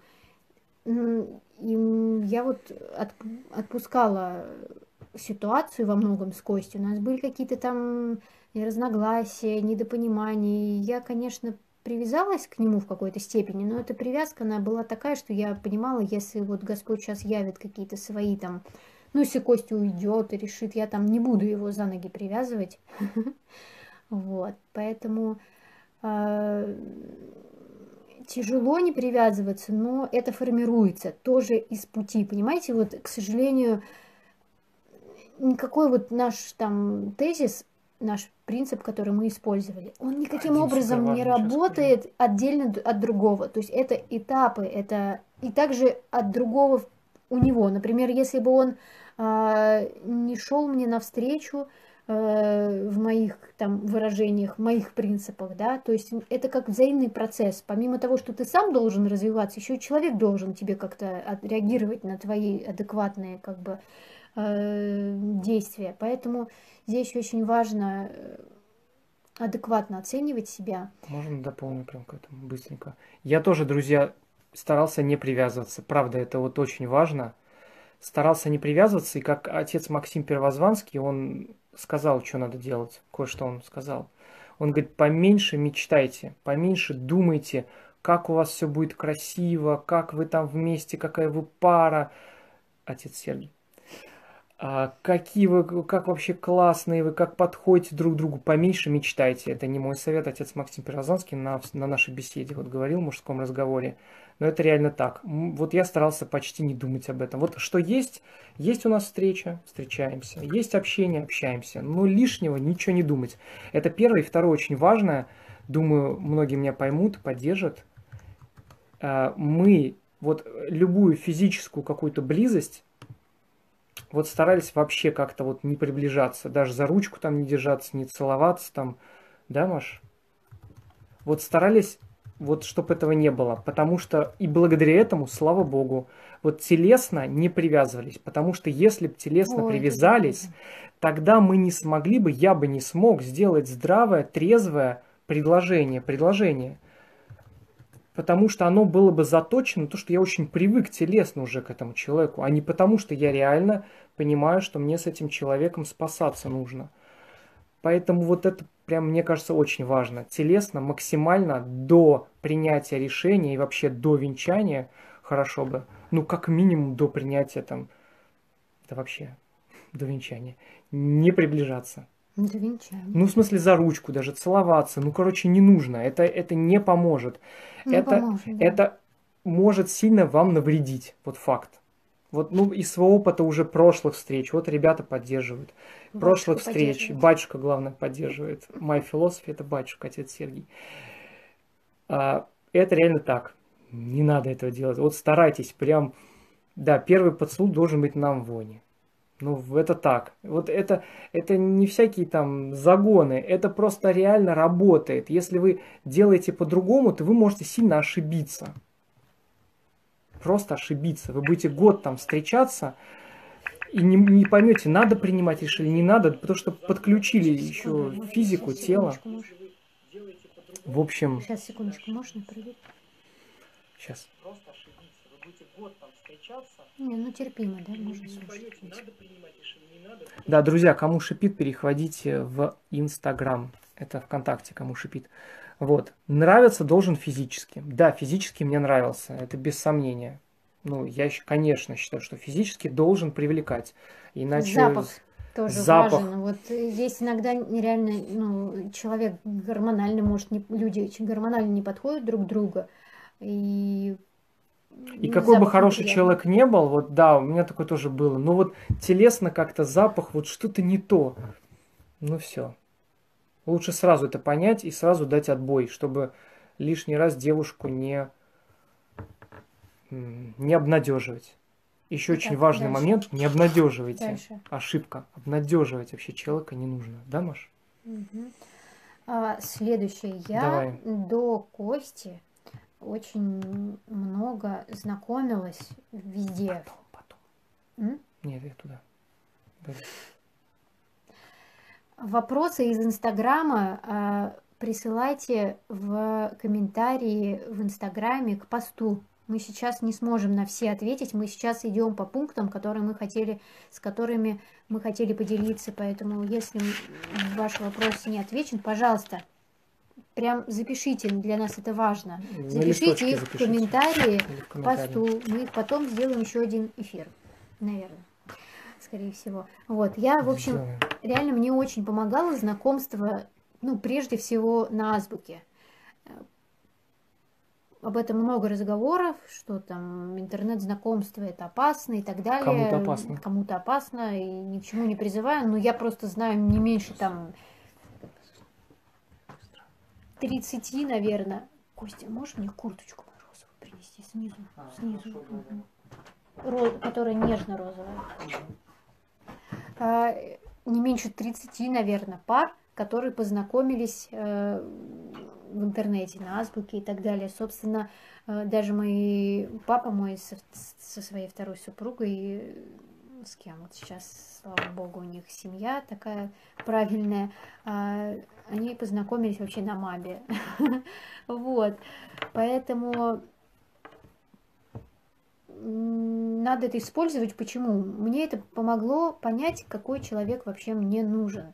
Потому что в начале пути моего поиска я думала, у меня был один образ, в процессе другой, в конечном итоге это совершенно вообще третья картина. Э, сказать мне 10 лет назад, э, поставить Костю и сказать, это будет мой муж, я бы, наверное, не поняла даже, как это возможно, потому что у меня были другие установки, другие взгляды, другие требования, другие э, образы внутри, да вплоть до того, что я думала, что обязательно муж должен быть высокий, большой, крепкий, ну да, вот, то есть, как бы это такая бельберда в голове, это реально э, очень мешает человеку, любые фильтры там, на тему того, какой он должен быть, как он должен выглядеть, чем он должен заниматься, сколько он должен зарабатывать, да любое.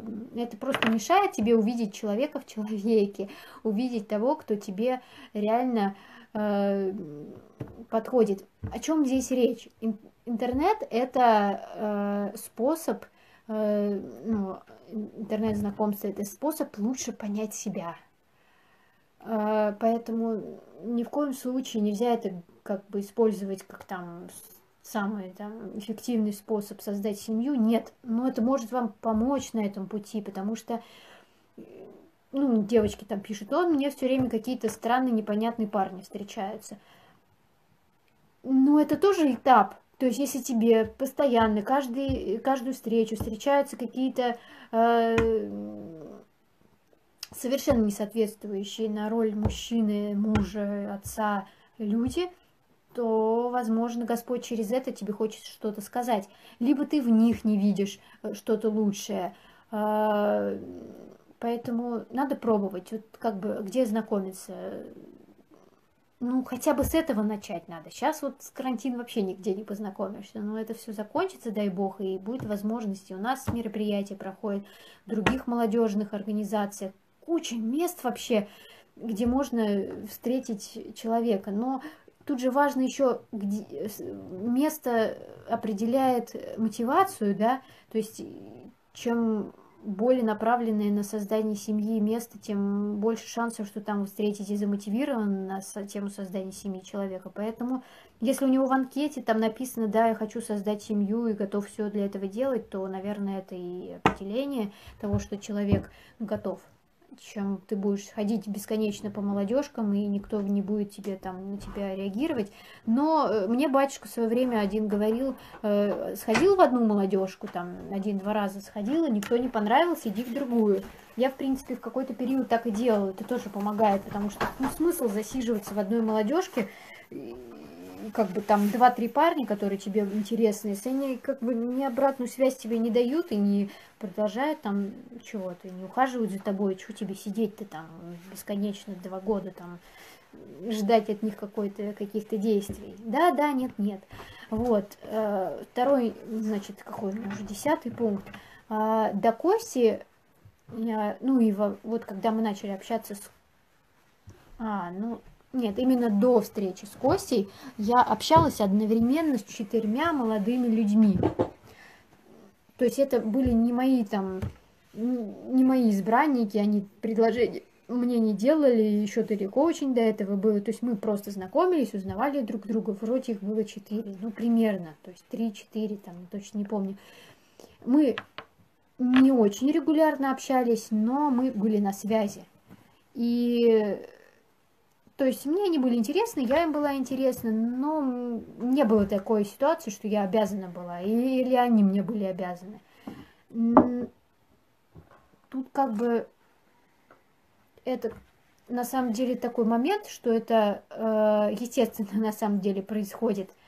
Почему? Потому что ты ну это дальше я об этом говорю, ты сияешь, тебе все интересны, и ты всем интересен. А как вот э, по-другому может быть? Ты что должен отвергнуть человека? Нет. Ну, конечно, когда э, мы с Костей встретились, все как-то рассеялись. Собственно, вот э, молитву, которую отец Или э, дал моему близкому другу, когда у него вот такая ситуация выбора между одним человеком и другим была, он э, сказал, батюшка, ему молись, Господи, отсеки, что не мое.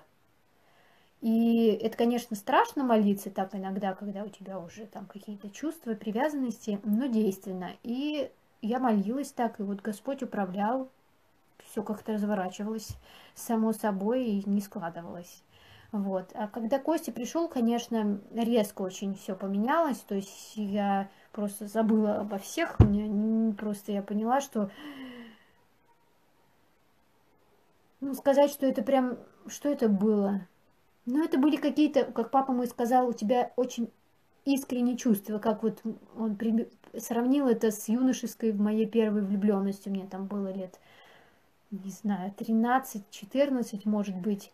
Это был мой тренер по сноуборду, я там, он был старше меня, это были такие, а, мечты там, ну, чего-то, конечно, нереалистичное, но это вот первые чувства, вот эти искренние такие, это похоже было.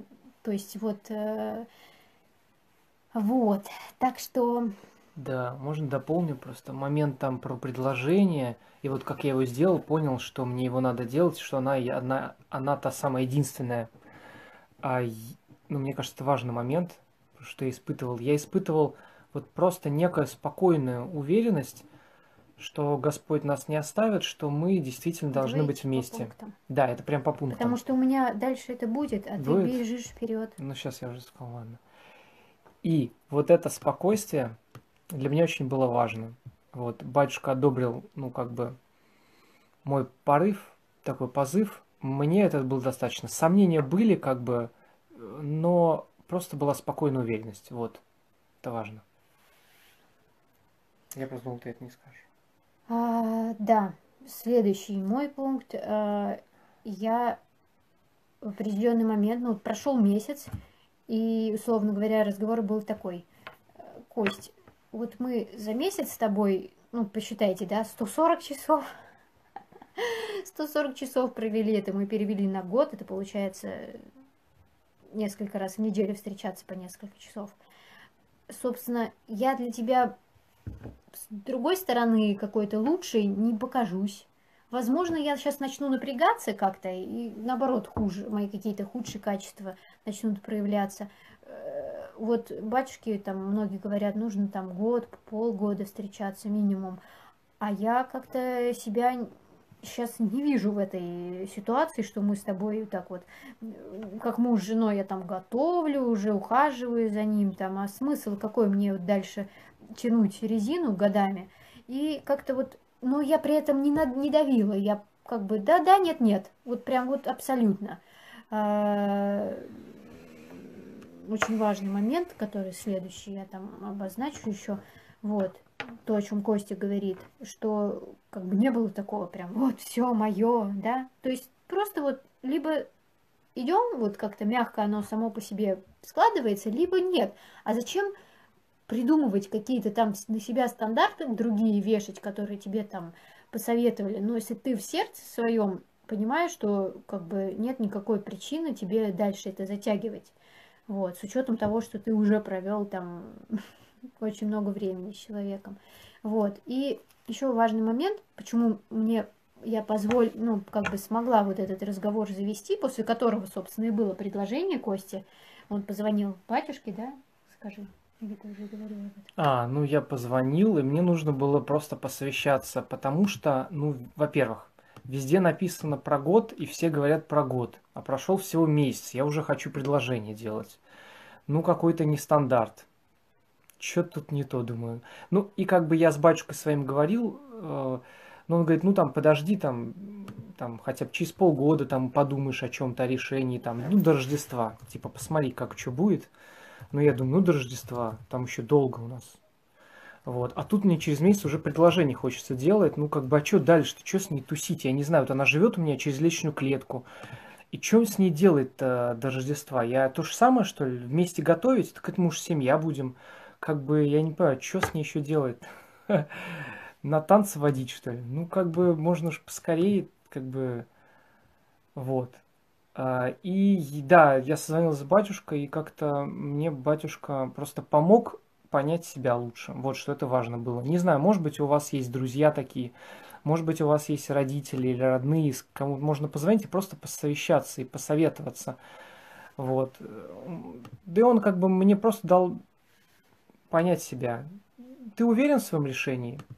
В целом, да. Чувствую, э, вот сердце говорит на это решение, оно откликается миром. Вот для меня это был факт. Вот я думаю, если я сделаю так, мир. Если я не буду предлагать, мне что-то уже не мирно. Надо предложить, значит. Надо сделать предложение. Вот сердце суда идет. Оно говорит, мирно. Вот для меня это было фактором. Это, друзья, делюсь просто своим опытом. Никому ничего не знаю. Но вот, вот у меня так. А вот, Маш, можешь дальше говорить? А то я тут Да. разойдусь. А, И этот разговор я завела на тот момент, когда я еще не привязалась. Ну, прям как бы, то есть для меня важно было исполнить, ну, то есть вот это мое сопротивление. Ну, человек, конечно, он да, всю жизнь свою э, настроить таким образом, чтобы все-таки прежде всего волю Божию исполнять, да. Но, конечно, когда к чувствам, когда к твоим решениям примешиваются какие-то чувства, тебе порой сложно принять это решение. Поэтому я этот разговор завела тогда, когда э, я еще не привязалась, то есть я не допустила затягивания, а, когда я уже привязалась, а он еще не определился.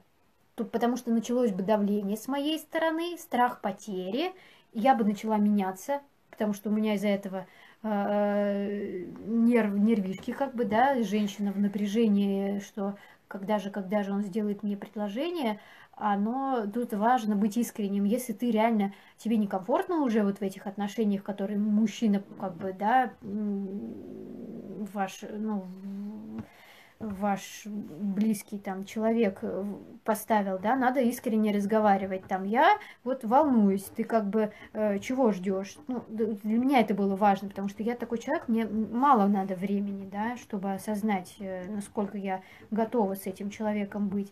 Плюс еще я как бы имела возможность советоваться с близкими людьми, и мне отец там дал позитивную обратную связь по поводу Кости, меня ничего не останавливало. Единственное, что меня могло остановить, это вот воля Божия. Но как бы она могла в любой момент проявиться. Она не проявилась до, до венчания, поэтому э, вот это тоже очень важно. Ты что-то по этому поводу хочешь добавить? Ну, по этому поводу я сказал. Там спрашивают интересный вопрос, а кто у нас главный? Говорит, Маша главная. Или Костя главный. Кто у нас главный? Интересный вопрос, да, задают подписчики? Это же всех мучает, да? Она мне что тут сказала, такая, типа, главная тут, да? Типа, всех это волнует. Вот что-то мне сказали, я типа не главный, да? А парню же обидно, ему сказали что-то там наперекор, он не главный, все, значит, не жениться на такой. Давай этот вопрос затронем. Он Хороший. такой сложный, знаете, потому что я как-то своему отцу, он очень меня мудрый человек, Ну, хороший даже ребята вопрос. хотели пригласить, чтобы мы его пригласили на беседу, но он такой закрытый, и он никогда не согласится, наверное. А, я его спрос- спросила, почему, ну, патриархат это же как бы вообще вершина там необходимости, да, каждый человек хочет, чтобы это было в полном соответствии с тем, как это должно быть, но почему-то его нет, почему нет этого патриархата сейчас? И он говорит, «Э, мозгов не хватает. Я говорю, кому? Обоим, обоим не хватает мозгов. Женщина вовремя не может остановиться, что-то такое сказала, да? Мужчина э, до этого, может быть, до этого что-то не то сказал или отреагировал. То есть вот патриархат, он рождается в моменте. Поэтому есть ли такие ситуации, в которых я и Костя, э, я нарушаю патриархат, а Костя создает отрицательные условия для этого? Есть. Есть ли условия, в которых идеальная патриархальная семья, Маша послушалась, Костя э, рад?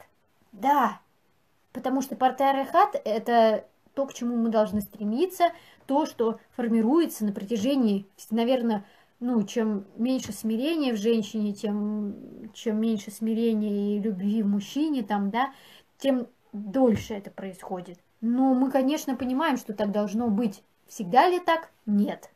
Нужно ли из этого трагедию делать?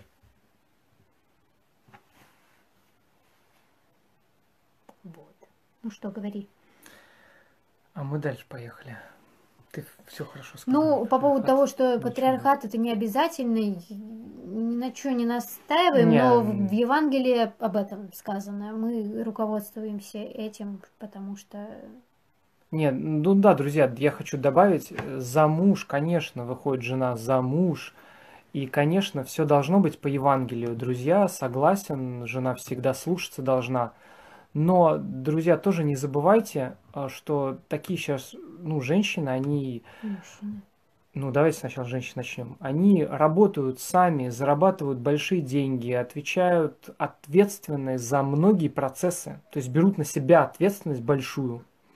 То есть они, ну, давайте по факту, женщины становятся, некоторые, не, не могу за всех говорить, некоторые, мужеподобные, а мужчины становятся, соответственно, женоподобные. Ну, вы это факты такие, ничего с этим не поделаешь.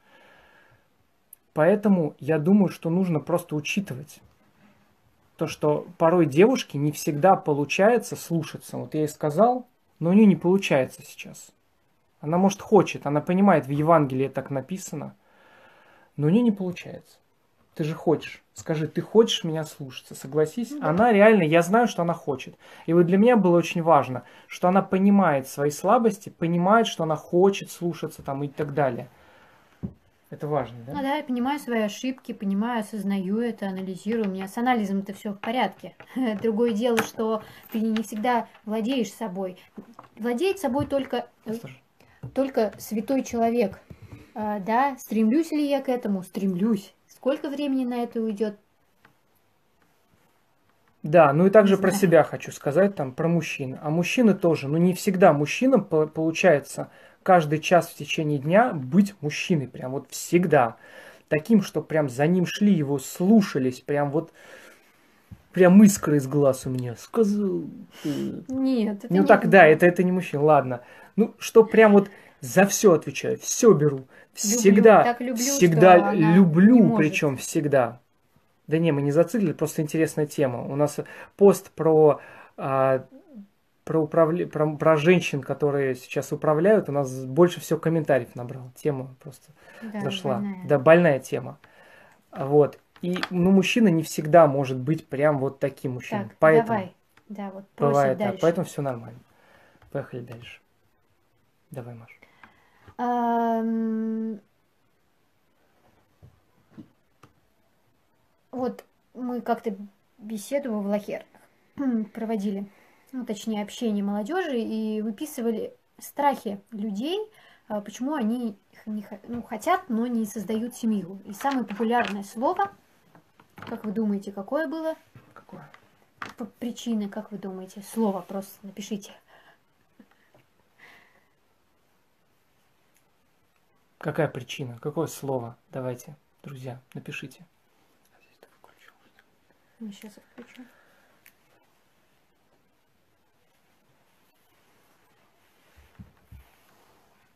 Миссионерское братство, да, спасибо. Также и женщинам нужно быть снисходительней к мужчинам во многом. И мужчинам снисходить с женщиной. Ну, взаимоснисхождение. И это просто страх, Супер! страх, развод. Супер! Это прям вот точку, вот удивительно, да? Не нравится как... еще, вот они говорят. Страх, Квартира. страх, боюсь. Страх. Это прям вообще просто через все проходило, через всю беседу чуть ли не у каждого человека, я боюсь там mm. развестись, я боюсь, что дети родятся в такое время смутное, я боюсь там, что она моими характерами там не сойдемся, мне будет сложно, я боюсь, то страх, страх, страх, страх, страх. Как бы да, но это же с этим разобраться надо. Вот да, я реально советую было, каждому человеку было. Э, разобраться. И, во-первых, об этом важно исповедоваться. Вот очень важно свои вот эти вот Кажется, что это странно, вроде мы должны исповедоваться там по книге, но то, что у нас внутри как бы какая-то заноза, страх это же ненормально, правильно? То есть мы, Господь нас, нам все даст, лишь бы мы только там с ним были, и он благоприятным образом все устроит, в каких бы условиях мы ни находились. Вот, поэтому я, меня вот реально вот Господь дал э, какой-то период, вот этот там полгода до встречи с Косей, я это в себе, слава Богу, вот Господь выстроил. Я не боялась ошибиться. Почему? Потому что если Господь довел меня до, до венчания, значит это мое. Как еще может быть? То есть, если я до этого никак э, определенные принципы не, не нарушала, Я не наставил на своем, упрашивая Господа, пожалуйста, дай мне этого человека, я хочу только с ним буду счастливым. Если я не, не нарушала благословение родителей, например, если мне там родители вообще сказали, там, все стопудово, это не твое, и там, ну, разумные родители, духовные, не говорю там о том, что это какая-то, может быть, зависть или ревность, такое тоже очень часто бывает. Еще какие-то ошибки не делал, то почему если Господь вот так все ровно вел, и вот оно, венчание, как я могу ошибиться? Есть ошибки? Есть. Ну, мы как-то одну женщину в эфире, там, Наталью Москвитину спрашивали, ошибка ли это? Она говорит, нет. Мне той нужно было пройти именно этот опыт. Потому что, как бы там ни было, Господь э, милостив, Он покрывает, Он э, все наши ошибки сглаживает, и мы можем начать новую жизнь. Конечно, это, это в условиях там канонических. Вот. И прям коротко добавлю, что как раз у меня тоже просто было, друзья, много страхов, прям поделюсь. А, там я у меня думал, что у меня там здоровье плохое, и, к сожалению, девушка, которые мне нравились, это не поймут, не воспримут. В Маше я сразу увидел мудрость, понимание, она это приняла. Я понял, что вот есть нормально, ну, как бы девушки, для которых это не причина. Поэтому эм, вот было много страхов, и вот слава богу, вот монастырь, вот я помню это чувство в монастыре, когда мы встретились в Оптиной пустыне, у меня вот не было чувства страха идти дальше, вперед, пробовать, действовать, общаться – и также в течение дальше нашего общения, когда я молился, Маша молилась, вот действительно я не чувствовал страха. Слава Богу, Господь вот у меня это убрал, не чувствовал сильных сомнений каких-то, сильных прям. Вот. Слава Дальше, Богу, в общем. Костик, да, давай, своя, твоя тема. Поехали. А, ну, я Мои уже немножко все. про это говорила, что э,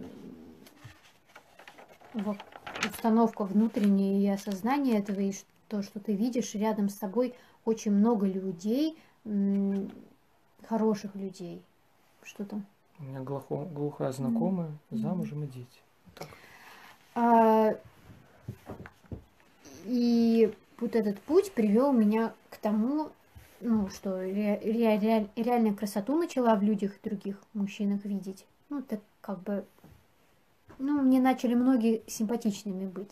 И у меня, как э, вот выразилась Надежда, у которой мы сейчас, кстати, живем, 40 э, лет в браке они, ты говор... она просто наблюдала и общалась там, кто-то приезжал из Москвы, мои знакомые, молодые люди, тем, с кем я дружила, кто-то вообще в Оптиной там послушался на тот момент.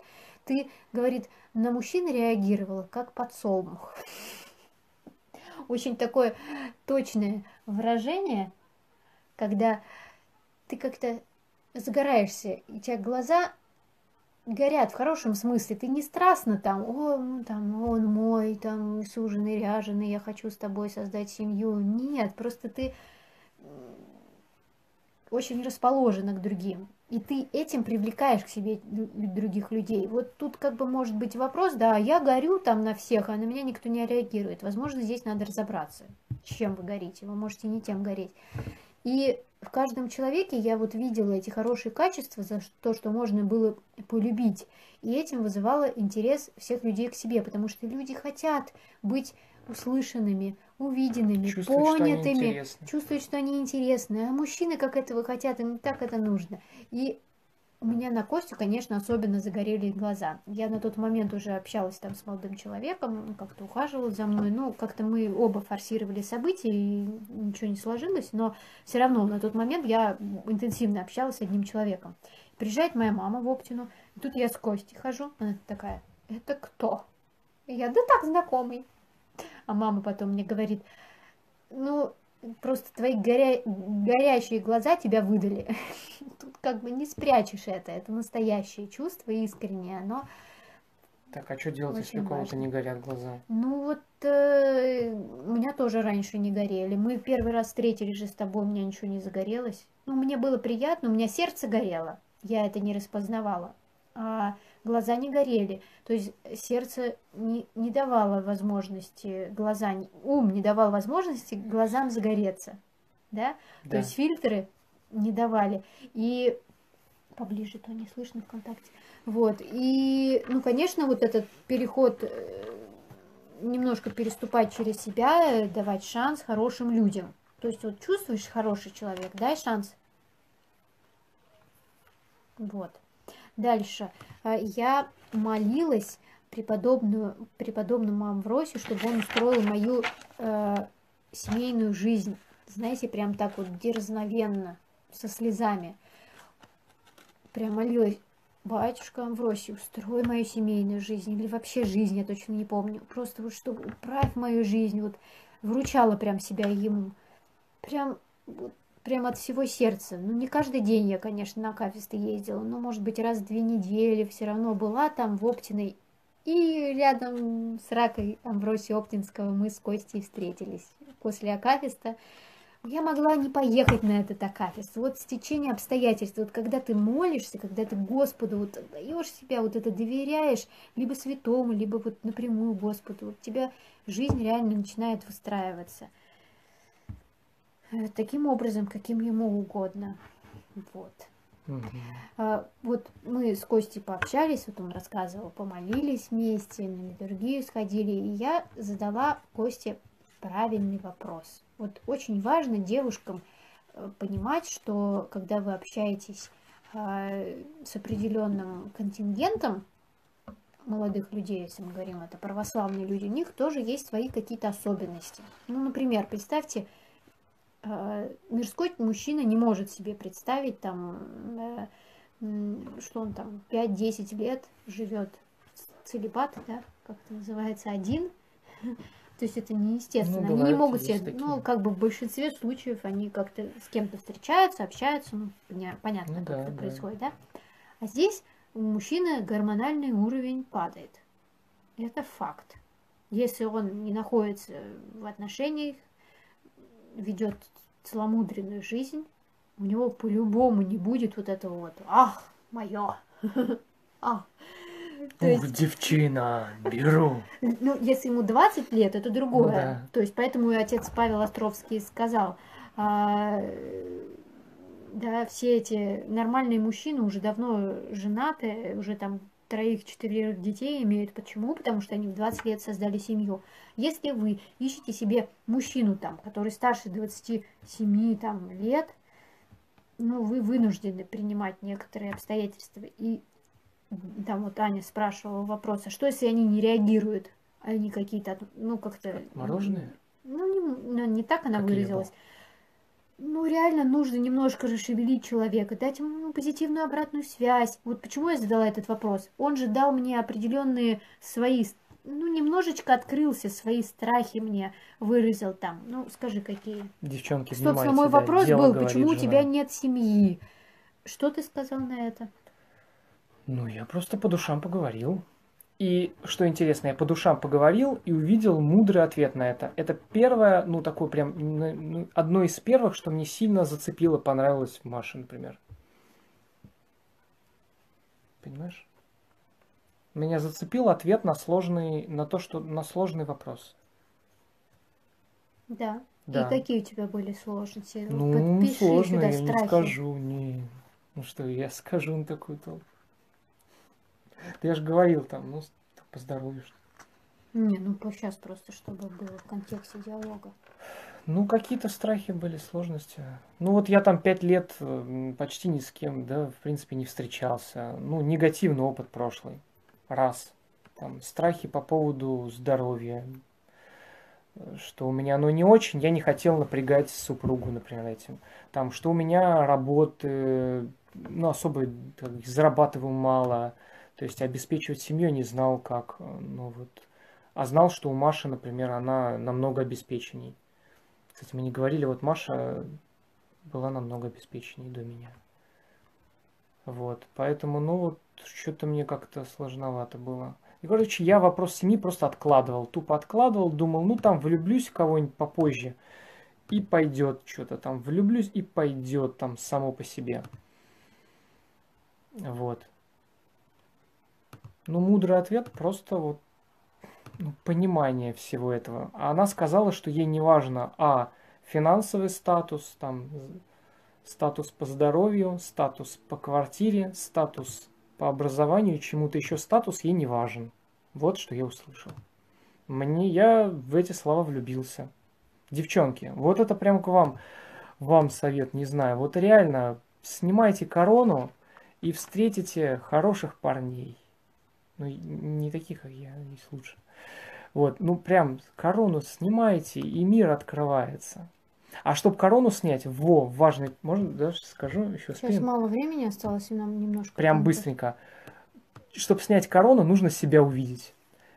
Как можно постарайтесь создавать такие ситуации со своей жизнью, чтобы увидеть себя, какое вы Г. Когда увидите себя, узнаете, корона снимется, и другого будете... О, это прекрасный человек, я же Г. А если я прекрасный, то это, ну, так себе как-то. В общем, да. Лайк, лайк. Я тоже лайкаю. Мысль хорошая. Поехали дальше. А, я, ну, в какой-то степени первой проявила интерес к Косте. Ну, сигналы какие-то, да.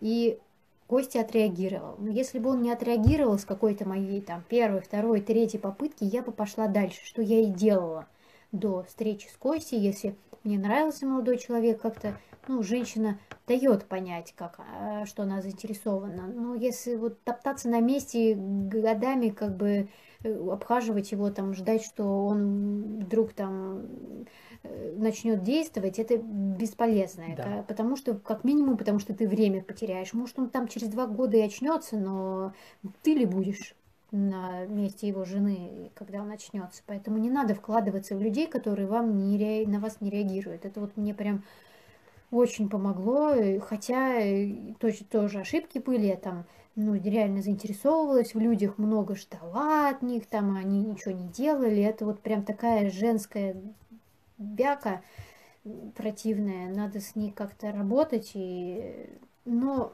да, ну это в общем Прям дополню, Маша, это очень важно. Реально это работает. Девчонки, сейчас запоминайте, работает эта фишка. Проявляйте заинтересованность. Вот я был отмороженный. Сейчас много парней, вы сами знаете, ну вы 30-40 лет тоже отмороженные. Ну давно отношений нет. Просто холодные вообще.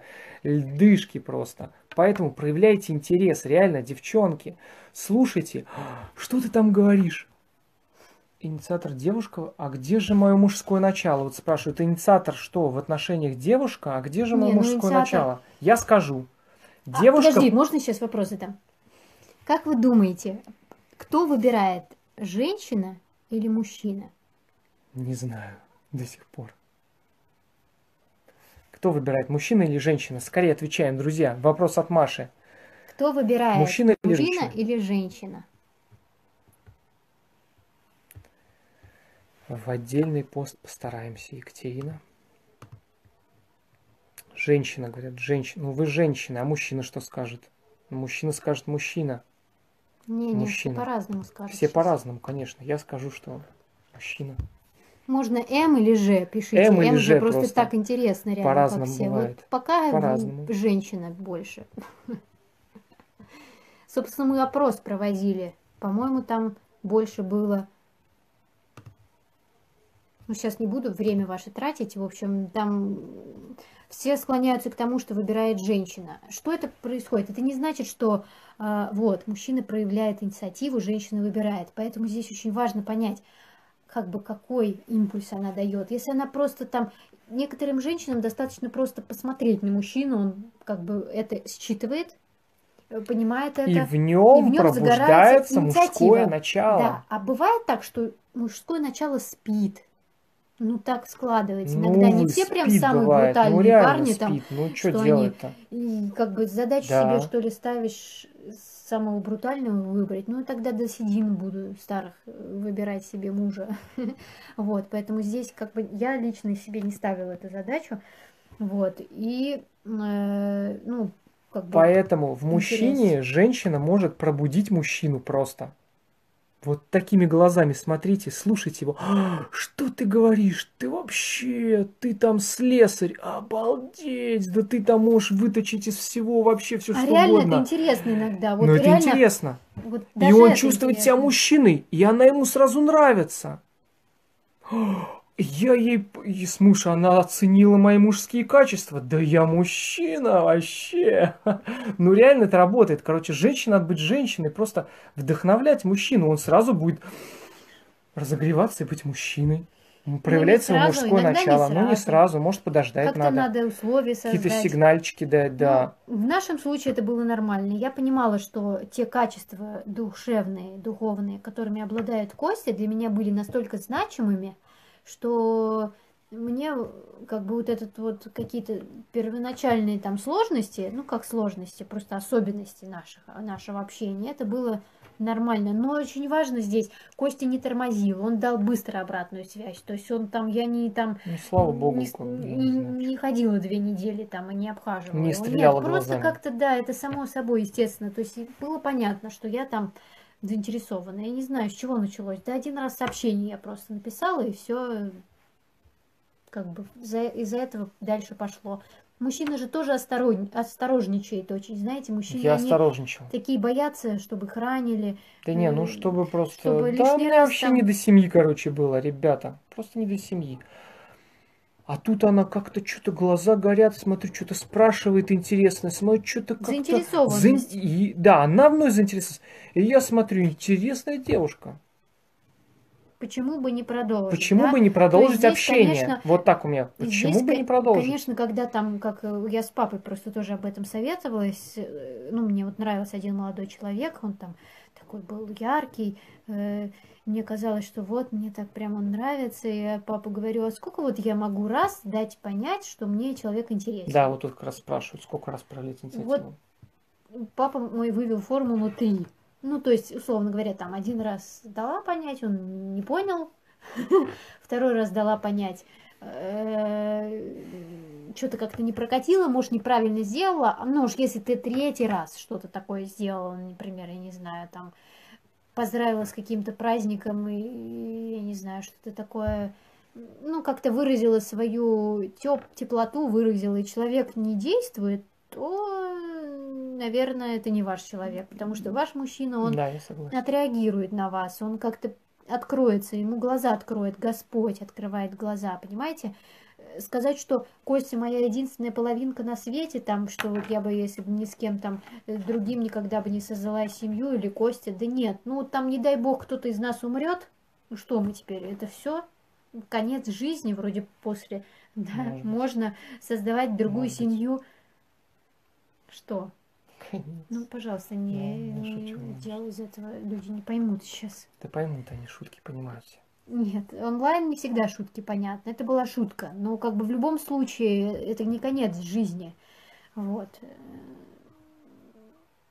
Даже смерть человека, значит, получается, нет такого, что вот мой один единственный, и все. Господь же сказал, э, что э, там на небесах не женится, ни э, замуж не выходит. Нет мужского, жен, ни женского пола. Все. Поэтому э, половинки, что за такое понятие? Нет его. А, ну вот это, об этом мы говорили, это тоже было для меня важным моментом, что мы не растягивали период знакомства на годы, так как жили в соседних квартирах месяц. Это вот очень тоже такой момент, если вы понимаете, что вы такой человек, что вы будете там страдать и долго ждать, а потом, если он там решит, что все-таки он не хочет с вами строить семью, и вы будете потом еще два года в- отходить от этого, то лучше не стоит. Здесь два совета. Во-первых, девушкам как-то устроить так, чтобы у вас была возможность общаться чаще, да, и, и мужчину подвести к тому, чтобы он тоже создавал эти условия. Ну и мужчине, конечно, тоже не обижать, потому что эта тема такая, вот, знаете, подружился там, ходит, э, общается, а ничего не обещает же, да, это такая трагедия для многих девушек, это так тяжело, то есть полгода, год общаются, а потом он там так и не сделал предложение, потому что люди перетянули тупо. Простите, мы даже знаем такие Или просто не случаи. поняли, что разорвать отношения лучше раньше. Ну, как бы, чё тянули полгода? Простите, я, друзья, просто вставлю свои пять копеек. Я прям сам вижу, сколько я делал ошибок в этом плане. И правда, вот эта дружба с девушками, она может до добра не довести. И я искренне всем советую тысячу раз подумать, а стоит ли продолжать отношения, если Либо вы делаете предложение, либо нет. И стоит ли продолжать, если уже как бы не надо дальше их продолжать. Вот, я искренне вам, вот, короче, советую очень быть осторожным, потому что можно очень сильно обидеть человека, и, и эта травма просто с ним остается, и ему потом сложно. Вот. Ну, давай дальше. А, тоже Костя частично об этом говорил, а как это у меня проявлялось. Я не боялась быть не идеальной, была открыта в своих несовершенствах. То есть вот там э, строите себе какую-то идеальную девушку без недостатков. Не У меня строила. задачи такой не было. Я реально, наоборот, даже где-то подкручивала винтики, чтобы человек понимал, с чем, с кем он будет жить. Он же как бы не берет там себе святую э, девушку. Нет, он как бы берет человека с травмами какими-то там детскими, там житейскими, какими-то ошибками, опытом негативным. Это все выливается в моих каких-то реакциях, в моих там, э, в моих э, страхах или еще в чем-то. И это все э, мужчине нужно вот понести, как папа мой тоже говорил, вот женщина это такой мешок, мужчина, прежде чем сделать ей предложение, должен как бы его так немножко примерить, вот понять, я его там вообще донесу, я его способен нести, или это как бы выше моих сил. Ну, то есть понятно, что есть люди, которые не готовы меня терпеть. Также есть люди, которые не готовы терпеть Костю. И здесь очень важно вот примериться вот этими вот как бы, да, то, с чего я начинала разговор. Вот сложилась у вас вот эта выпуклость, вогнутость, недостатки и достоинства. Вот как бы у нас сложилось. То есть Костя меня потерпеть может, я Костю потерпеть. Это так удивительно, да? То есть складывается. Вот расскажи, да, Маша расскажи, сейчас, расскажить, э, рассказать кому-то там э, нашу историю до наши отношения. Не все способны будут меня терпеть, не все способны Костю. Это очень важно понять, поэтому надо себе как-то, ну, э, во время знакомства открывать больше а, да, да, и да, по- пытаться понять другого. Да, спасибо, Маша. Я тоже хотел очень добавить, прям, друзья, именно вот до, до того, как вы сделаете предложение, вот лично мое, мое мнение, максимально нужно увидеть человека в не очень приглядном свете, то есть, ну, в каких-то конфликтах, сложностях, чтобы реально вы показали, ты себя показал, а она себя показала, и чтобы вы увидели, готовы вы на это или нет. Я вот с этим очень согласен с Машей. Это очень важно и очень вам поможет, мне кажется, после брака, потому что вы, а ты видел это, Чего ты тогда согласился? Ты видел, что она вот или в тебе, а она видела же это в тебе. Поэтому очень важно увидеть что-то не очень хорошее. Вот это очень важно, на мой взгляд и не скрывать это особо до, до венчания. Вот. Что-то у тебя еще есть? А, у тебя все, да? Угу. А, так, друзья, ну пока уже подходит тогда к эфир, последние моменты. Как вам эфир? Скажите, по пятибальной системе вообще, а насколько полезно было? Правда, очень интересно, а то мы тут что-то т-т-т-т-т, а может быть это все не очень интересно. Насколько интересно по пятибальной системе? 1, 2, 3, 4, 5. Поставьте, пожалуйста, чтобы мы посмотрели насколько Может, полезны быстро? такие эфиры вообще делать, а мы это публикуем потом. Зачем? Ой, не хотела бы опубликовывать, это немножко сложно. Я пока читаю. Давай почитаю. Давай, это будет Давай полезно. отдельно потом сделаем еще, прочитаем на видео. Ну, это будет не, не актуально. Да просто сейчас долго. Ну, как хочешь. А, вот, друзья, хотим сделать еще... А, все. Вот, так, еще последние несколько прям моментов. А, а, друзья, еще очень важно, вот я записал, сказать вот про любовь. Что же такое любовь? Я думаю, вот в браке мы вот с Машей немножко так приземлились, слава богу, и понимаем, что любовь это, это очень высоко. Вот, и... И любовь это, вот знаете, когда, ну вот Евангелие же читали, да, это когда Господь с креста смотрел на своих распинателей и молился за них. Вот это любовь. И вот я хочу сказать о том, что в браке не всегда так получается. Да точнее, ну, я не знаю, когда это получается, особенно у тех, кто вот такие, как мы, эгоисты. И у нас только, только брак вот недавно состоялся, можно сказать. Очень сложно любить вот по-настоящему. А любовь это вот так. Сложно, да, любовь, Маш? Любить. Ну, если мы говорим о чувствах, которые там, естественно, у человека зарождаются, как то там, ну, есть такое понятие в духовной жизни, как э, спокойствие, мир. Э, ну, вот если человек долго молится, ему Господь дает состояние естественного, как бы, естественной вот этой вот, естественного мира. Да? И это еще не духовное состояние, это просто естественное, человек, он так должен таким быть, да, и как бы это еще не, это еще не любовь, это просто факт того, что вы, ну, как человек ведет себя как человек. А если мы говорим о любви, то это действительно вот э, что-то такое глубокое, что-то такое сложное. Очень то есть, сложно. когда, когда все вокруг говорит тебе, что не надо это любить. Ну, то есть надо что, ну, Господь, да, это же это самое нелогичное вообще действие. Господь распялся на кресте, да? Как это вообще просто... Не, это, ну, это, антилог... это антилогично. А и также и в семье ситуации возникают, когда тебе, тебя тоже прям вот распинают. Твое самолюбие. Даже человек самолюбие, не специально, да. он не специально это делает, да просто у него вот как-то так сложилось у него, что он такой. И тебе вот это надо все понести. Конечно, это такая вот крупица от того, что Господь там, да, взял на себя, но... В общем, да, и это к тому, что в семье распинается самолюбие. Не ждите от другого человека, что он прям так будет любить вас, как Господь любит. Вот так вот. Вот так абсолютно бескорыстно. Ну, это, это годами. Ну, батюшки все говорят, через многие-многие года. Вот. А пока сложно. А пока будет распинаться твое самолюбие и эгоизм, тебе надо будет терпеть. Ну вот мне надо терпеть, Маше тоже надо терпеть. И многим молодым семьям надо просто потерпеть, когда распинается самолюбие. Вот. Это же и полезно. быть к этому готовым. Да, это полезно, собственно, а ради дети, этого, а дети, в том числе семья вообще... и создается, чтобы мы спасались и свой эгоизм вырубали, а это больно, больно. Вот, очень больно порой. Да, так что спасибо, что нас слушали вообще. Нам просто мы тут сидим три месяца уже в деревне на карантине. А, да, мы в Козельске. Что спрашиваю, за стена сзади? Ну, это дом а, в деревне, в Козельске, частный дом. Да, вот. так что спасибо, что были с нами. Нам... Приезжайте потом сюда, кто сможет после карантина, приглашаем. Да, вот тут частный дом, частный сектор, тут можно жить, молиться в Оптине, тут прекрасно, в общем, расскажем. Вот.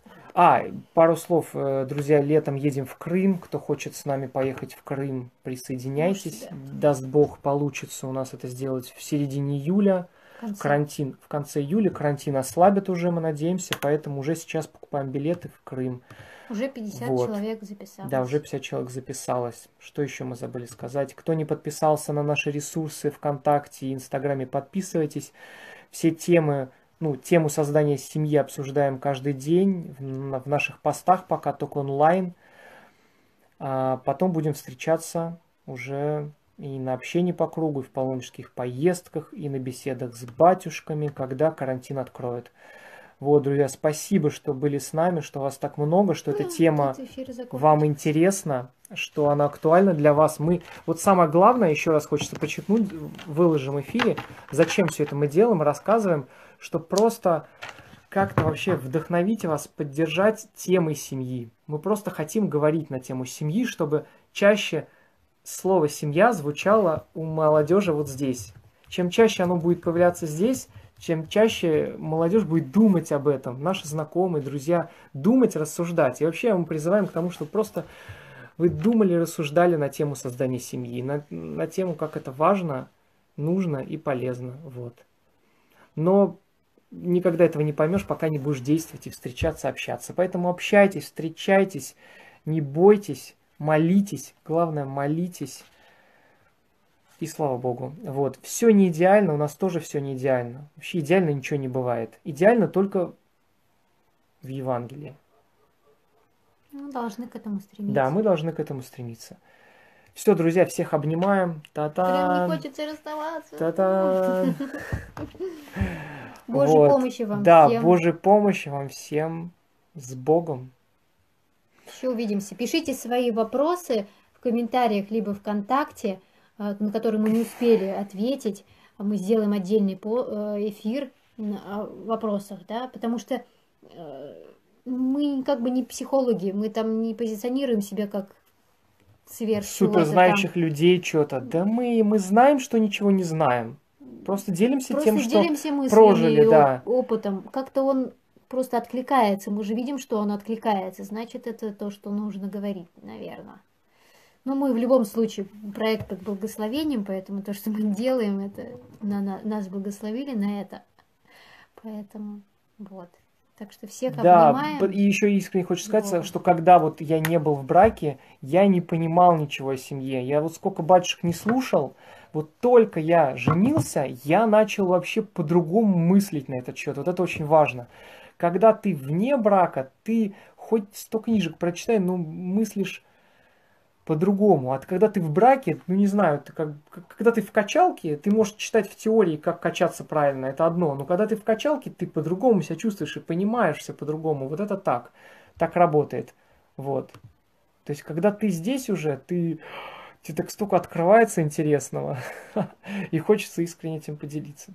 Вот, пишите ваши вопросы и темы, которые еще хорошо бы обсудить, которые мы могли бы обсудить. Мы же обсуждаем, вы думаете, рассуждаете, это совместный диалог. Вот. Ну, вроде бы все, да, Маш, все сказали? Практика, практика, да, практика, практика. Мы за практику. За практику. Качалка, огонь. Все, ладно. Все, с Богом. Помолимся. Помолимся, давайте. Ангелу пеши благодатней, чистая дева, радуйся, и по кирику радуйся. Твой сын воскресе, три дневе над гроба, и мертвые воздвигнулы, люди веселитесь.